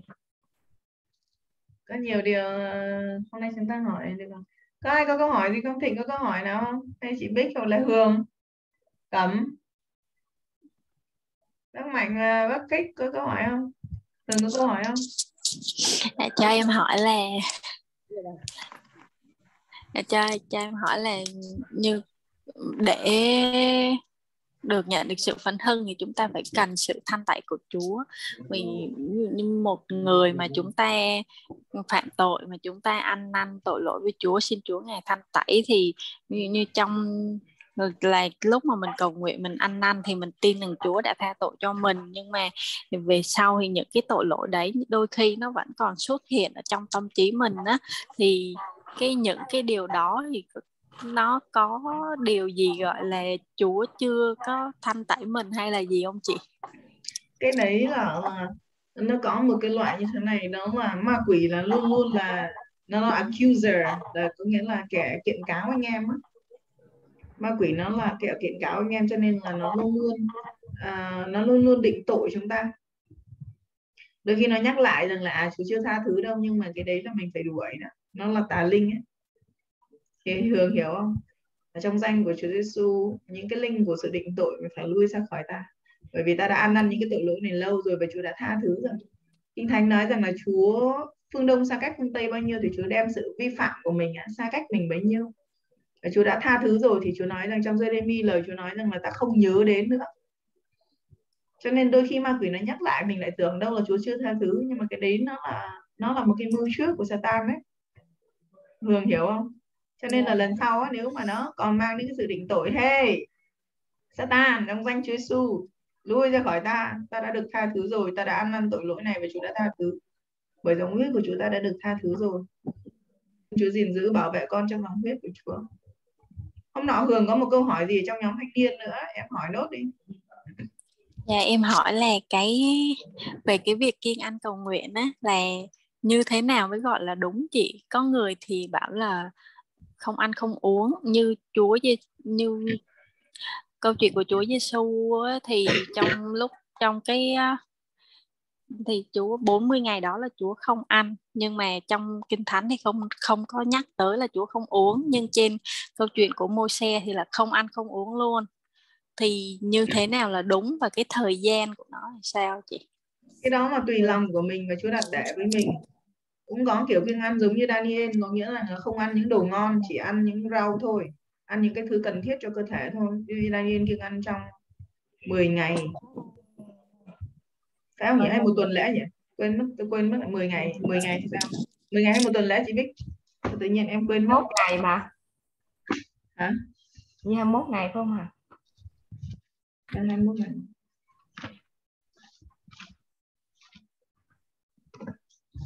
Đúng rồi 21 ngày sao? Tự nhiên 3 tuần. Ở trong uh, Daniel đoạn uh, 10 ngày chị? 10 ngày. Daniel đoạn 1 hả? 12 dạ. Có mấy hả em? Dạ có 12 đoạn 1 ấy. Không cái đấy là đấy là Daniel đoạn 10 đấy là không phải đấy là đấy là lúc đó là Daniel và các bạn ăn rau à, thử thách trong 10 ngày. Thế còn cái việc Daniel kiêng ăn ở trong đoạn 10 cơ đúng rồi 21 ngày chị biết nói đúng rồi. Sao tự nhiên em nhớ 10 ngày em nhớ em nhớ 10 ngày bị lộn sang cái của giống như của bạn Nhật đó. đoạn 1 đoạn 1 là vì họ không có ăn thịt do do vua cho. Bởi vì những cái thứ thức ăn của vua ấy là đều được cúng đều được uh, gì nhỉ cúng cúng cho các vị thần của Babylon thời bây giờ. Bởi vì Daniel và bốn người bạn ba người bạn đó, là ở trong xứ Babylon uh, cho nên rằng là họ họ từ chối không ăn những cái thức ăn đó. Là trong 10 ngày đúng không? Phải là Nhật đoạn 1 đúng không? dạ, dạ, đoạn 1 là trong 10 ngày họ chỉ ăn rau thôi. Thế còn nhưng mà đấy không phải là kiêng ăn. Đấy là tại vì là họ không ăn thịt của vua nhưng mà trong cái đoạn kiêng ăn là cái đoạn 10 á là là trong cái câu số 2 đó là trong ngày đó ta Daniel đương buồn rầu trải qua 3 tuần lễ chọn là 21 ngày á. Ta chẳng ăn bánh ngon thịt rượu chẳng vào miệng ta. Ta không sức giàu chết cho đến chừng 3 tuần là mãn. Có nghĩa là Daniel kiêng ăn nhưng mà Daniel vẫn ăn ăn những cái thứ cần thiết có thể là có thể là ăn thực phẩm và rau. Đó cho nên rằng là cái việc kiêng ăn bao nhiêu ngày đó là tùy tấm lòng của mình. Chúa Chúa cảm động mình. À, ví dụ như những người mới không nên kiêng ăn quá lâu. Ví dụ như các bạn ví dụ như em thường á bắt đầu muốn kiêng ăn thì nên kiêng ăn một ngày trước đi đã sau đó là ba ngày. À, từ từ rồi mới lên một tuần. Chứ đừng có nên là kiêng ăn đùng một cái là một tuần hay 40 ngày có người kiêng ăn xong là chết luôn. Ừ. wow họ ăn lại và họ ăn quá tải á. Ừ. điều độ tiết độ và, và, và họ họ chết. Cho nên là có những cái câu chuyện mà mà mà rất nhiều người họ nói là, là tại sao Chúa lại để điều đó xảy ra. Nhưng mà thực chất ra là, là thiếu sự khôn ngoan. Ừ. kinh thánh nói là chúng ta bị diệt vì thôi sự không biết cái việc này là chúng ta thứ nhất là Chúa có kêu gọi chúng ta kinh ăn 40 ngày hay không? Cái đấy rất là nhiều những người mục sư được kêu gọi họ kinh ăn 40 ngày. Còn nếu Chúa không kêu gọi chúng ta đừng làm thế bởi vì đôi khi có những người muốn làm như vậy để thể hiện cái cái cái cái sự tài giỏi của họ chẳng hạn hay là cái cái cái siêu thuộc linh của họ. Nhưng mà nếu như chú không kiêng ăn là chú không thêm sức đâu. Bất cứ những cái công việc nào chú không đầu công thì chú không chịu trách nhiệm. Và sau khi kiêng ăn cũng cần phải điều độ nữa. Ăn cháo ăn những cái thức ăn thật là mềm trong vòng một thời gian dài. Ít nhất là nếu 40 ngày không ăn thì 40 ngày phải ăn. Phải ăn một cách uh, điều độ uh, ăn những ăn mềm chứ còn nếu chúng ta không hiểu biết mà chúng ta lại ăn no ngay khi kiêng ăn mà chúng ta là không điều độ không ăn những thức ăn mềm ăn no ăn ăn những thức ăn cứng thì ờ, chúng ta chúng ta làm hại cơ thể của mình là đền thờ của Chúa. Rất, rất là nguy hiểm. Nhiều người là con cái Chúa thiếu cái hiểu biết ở chỗ này rất nguy hiểm. Hường, Hường, Hường nhận được chưa Hường? Vậy nếu một người ví dụ như một người đang đi làm hay là một học sinh gì đó chị mà muốn dự phần kiêng ăn thì phải ngưng lại việc học với việc làm hay là sao chị? Không, cái đấy tùy họ thôi. Họ họ muốn dự phần kiêng ăn là họ họ muốn kiêng ăn kiểu gì họ muốn kiêng ăn giống như Daniel đây. Có nghĩa là chỉ ăn những cái thức ăn cơ bản ví dụ như rau thôi với cơm thôi. Như về Việt Nam mình là cơm hoặc là bánh mì thôi thì cũng được. Không cần không không phải là kiêng ăn là có nghĩa là là là phải kiêng hoàn toàn. Cái kiêng ăn cũng có kiểu kiêng ăn giống như Daniel này, vẫn ăn, nhưng mà ăn nhẹ chẳng hạn, hoặc là ăn những cái cái chỉ có cơ bản để cho cần trong 30 ngày à, trong 21 ngày thôi, hoặc là trong mấy ngày đó. Chứ không phải là kiêng ăn là phải nghỉ học, phải thế này, phải thế kia, tùy vào cái sức lực của mỗi một người và tùy vào cái sự cảm động. Cho nên là không có cái việc đúng sai ở đây. Nếu Chúa cảm động, người đó kiêng ăn hai ngày, ba ngày thì người đó kiêng ăn hai ngày, ba ngày. Nếu như người đó cả cảm động, Chúa cảm động, kiêng ăn và kiêng kiêng ăn luôn là không ăn gì thì người đó hãy không ăn gì thế nếu như mà người đó cảm thấy là mình vẫn còn phải học phải vẫn phải đi làm mình vẫn phải cần phải có cái cái ờ, cái ờ, cái, cái uh, lương thực để cái cái cái cái nutrition là cái um, dinh dưỡng để nó nuôi dưỡng cơ thể mình trong những ngày mình di chuyển đi lại học tập này kia để mình không có bị kiệt sức thì người đó vẫn ăn có thể ăn nhẹ được em hiểu không Hường? Tại vì em thấy cái ý nghĩa của kiên anh cầu nguyện em cảm giác là nó hạ mình hạ cái con người thịt của mình xuống á. Cho nên là em nghĩ là không không không ăn không uống á. Cho nên là em không biết là điều đó đấy là tùy bản thân của em thôi. Nếu mà em cảm thấy rằng là em không muốn ăn uống để hạ cái con người xác thịt của em xuống ok điều đó tốt. Nhưng cũng có những người ví dụ như em nói về cái bạn đang đi học và đang đi làm đấy. Bạn ấy không thể làm như thế được bạn ấy bởi vì bạn ấy nếu mà bạn ấy kiêng ăn như ba ngày như vậy bạn làm việc quần quật đi học như vậy bạn xỉu mất thì bạn ấy vẫn phải có một chút thức ăn thì cũng không sao cả. Em hiểu không? Có nghĩa là nó không phải vấn đề là đúng sai hay tội lỗi ở đây. Nó là vấn đề bản thân mình với Chúa thôi. Có những người người ta chỉ cần cầu nguyện thôi người ta không kiêng ăn hoặc là người ta bị cái vấn đề gì đó người ta không thể kiêng được. Thì ôi khi Chúa vẫn thông cảm với họ chứ đâu có mình đâu Chúa đâu có bắt tội vì vấn đề đó đâu. Tường hiểu không Hường vậy là trong thời gian đấy là mình vẫn được nghỉ ngơi vẫn sinh hoạt ví dụ như sinh hoạt thanh niên này kia mình vẫn được tham gia bình thường đúng không chị? Thì vẫn được bình thường thôi. Yeah. nhưng mà cũng có những người họ muốn biệt riêng ra với Chúa. Ví dụ như là có những bạn ví dụ như là có một số bạn bạn gặp vấn đề gì đó bạn ấy muốn biệt riêng ra với Chúa mấy ngày đó là bạn không gặp gỡ ai bạn chỉ cầu nguyện kiêng ăn và đọc kinh thánh thôi hát thánh ca thôi thì cái đó lại càng tốt nữa. Ừ. em hiểu không có nghĩa là tùy theo thì thường hiểu không?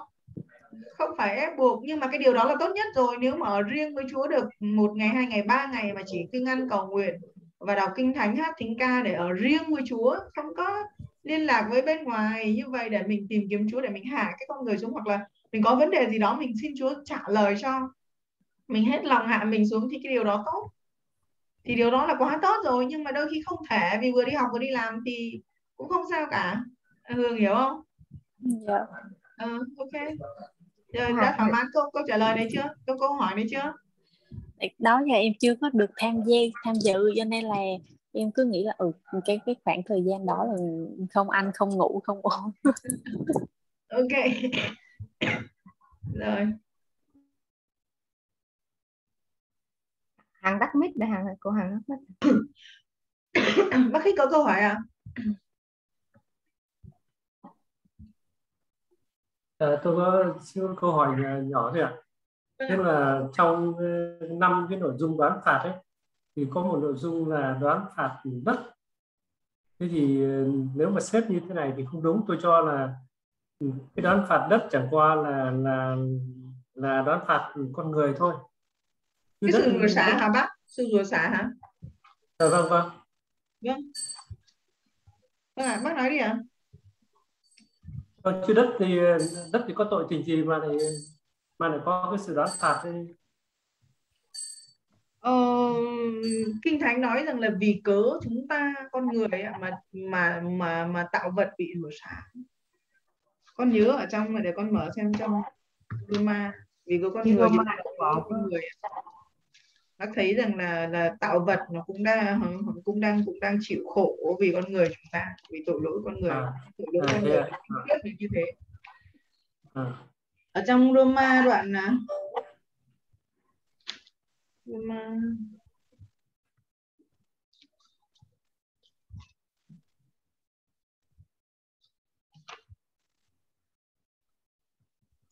Roma đoạn Roma đoạn 8 các bạn Roma đoạn 8 câu số 8 rồi đi con đọc này. Và tôi tưởng rằng những sự đau đớn bây giờ chẳng đáng so sánh với những sự vinh hiển hầu đến. Là sẽ, là sự sẽ được bày ra trong chúng ta. Thật thế, muôn vật ước ao nóng nảy trong đợi con cái của Đức Trời được tỏ ra vì muôn vật đã bị bắt phục với sự hư không chẳng phải tự mình bèn là bởi đấng bắt phục. Muôn vật mong rằng mình cũng sẽ được giải cứu khỏi làm tôi sự hư nát. Đặng dự phần trong sự tự do vinh hiển của con cái Đức Chúa Trời. Chúng ta biết rằng là muôn vật đều than thở và chịu khó nhọc cho đến ngày nay. Không những muôn vật thôi là chúng ta là kẻ là trái đầu mùa của Đức Thánh cũng than thở à, trong lòng đang khi trông đợi sự làm con nuôi tức là sự cứu chuộc thân thể của chúng ta vậy. Kinh Thánh nói rõ ràng rằng ở đây nói rằng là muôn vật mong rằng mình sẽ được giải cứu khỏi việc làm tôi sự hư nát đặng được dự phần trong sự tự do vinh hiển của con cái Đức Chúa Trời. Vì chúng ta biết rằng muôn vật đều than thở và chịu khó nhọc cho đến ngày nay. Vì có tội lỗi của loài người á. Đấy kinh khủng. Tội lỗi của loài người làm ảnh hưởng đến cả tạo vật. Roma đoạn 8 câu số 20, 18 cho đến 23, 24. Bác câu hỏi rất hay á. Ít người ít người thắc mắc câu này. Rất ít người luôn cảm ơn chị. Thôi bây giờ chúng ta sẽ nghỉ giải lao bữa sau chúng ta sẽ tiếp tục. Cảm ơn Chúa. Thì, uh, thì giờ này rất là vui vẻ. Amen. Con thấy cái thì giờ buổi đáp này là giờ rất bổ ích và vui vẻ. Amen. mọi người đều được đều, đều được thắc mắc giải đáp những thắc mắc. Đây là thì giờ có lẽ con thấy học hiệu quả hơn là thì giờ ngồi trên lớp à, đúng thế ạ đúng thế bởi vì ai cũng là rất là là là kiểu như là tò mò biết cái câu trả lời cho nên là nó, nó có hiệu quả cho chúng ta cảm ơn chúa bây giờ xin mời bác bác mạnh cầu nguyện đi ạ. À. chúng ta sẽ kết thúc cái buổi hôm nay. Là mọi người hiểu ý à, bác mạnh xin cầu nguyện. Amen. Lạy chúa là đức chúa trời toàn nắng toàn tí toàn tài. Đức chúa trời hôm qua ngày nay cho đến đời đời không bao giờ thay đổi. Cảm tạ ơn chúa vì chúa đã cho chúng con một buổi sinh hoạt lớp thật là thú vị thật là vui tươi ở trong quyền năng của chúa con cảm tạ ơn chúa. Xin chúa ban phước sức giàu trên đối tử của chúa là cố hằng và tất cả mọi người trong lớp học này để rồi chúng con tiếp tục học lời của Chúa mỗi mỗi tuần ba buổi để rồi được sự thăm viếng của Chúa trên đời sống trên cuộc đời của chúng con. Con tạm tạ ơn Chúa vô cùng mà chúng con dâng mọi vinh hiển lên ba ngôi Đức Chúa Trời chúng con thành kính cầu nguyện. Nhân danh của Giêsu Christ. Amen. Amen. chúng ta sẽ mở cam lên chúng ta chào uh, các uh, các bác uh, dạ, xin chào bác Thích xin chào bác Mạnh chị Bích nha Vâng. Chào gia đình anh Thịnh. Chào anh Thịnh cha. Chào anh Cẩm. Chào, chào chị Hương. Chào bác Mạnh. Chào, chào Hà. Chào anh Phước cho các bé có các bạn ngủ ngon chưa? Cùng với Chúa. Hẹn gặp lại ngày mai ạ. Amen. Dạ.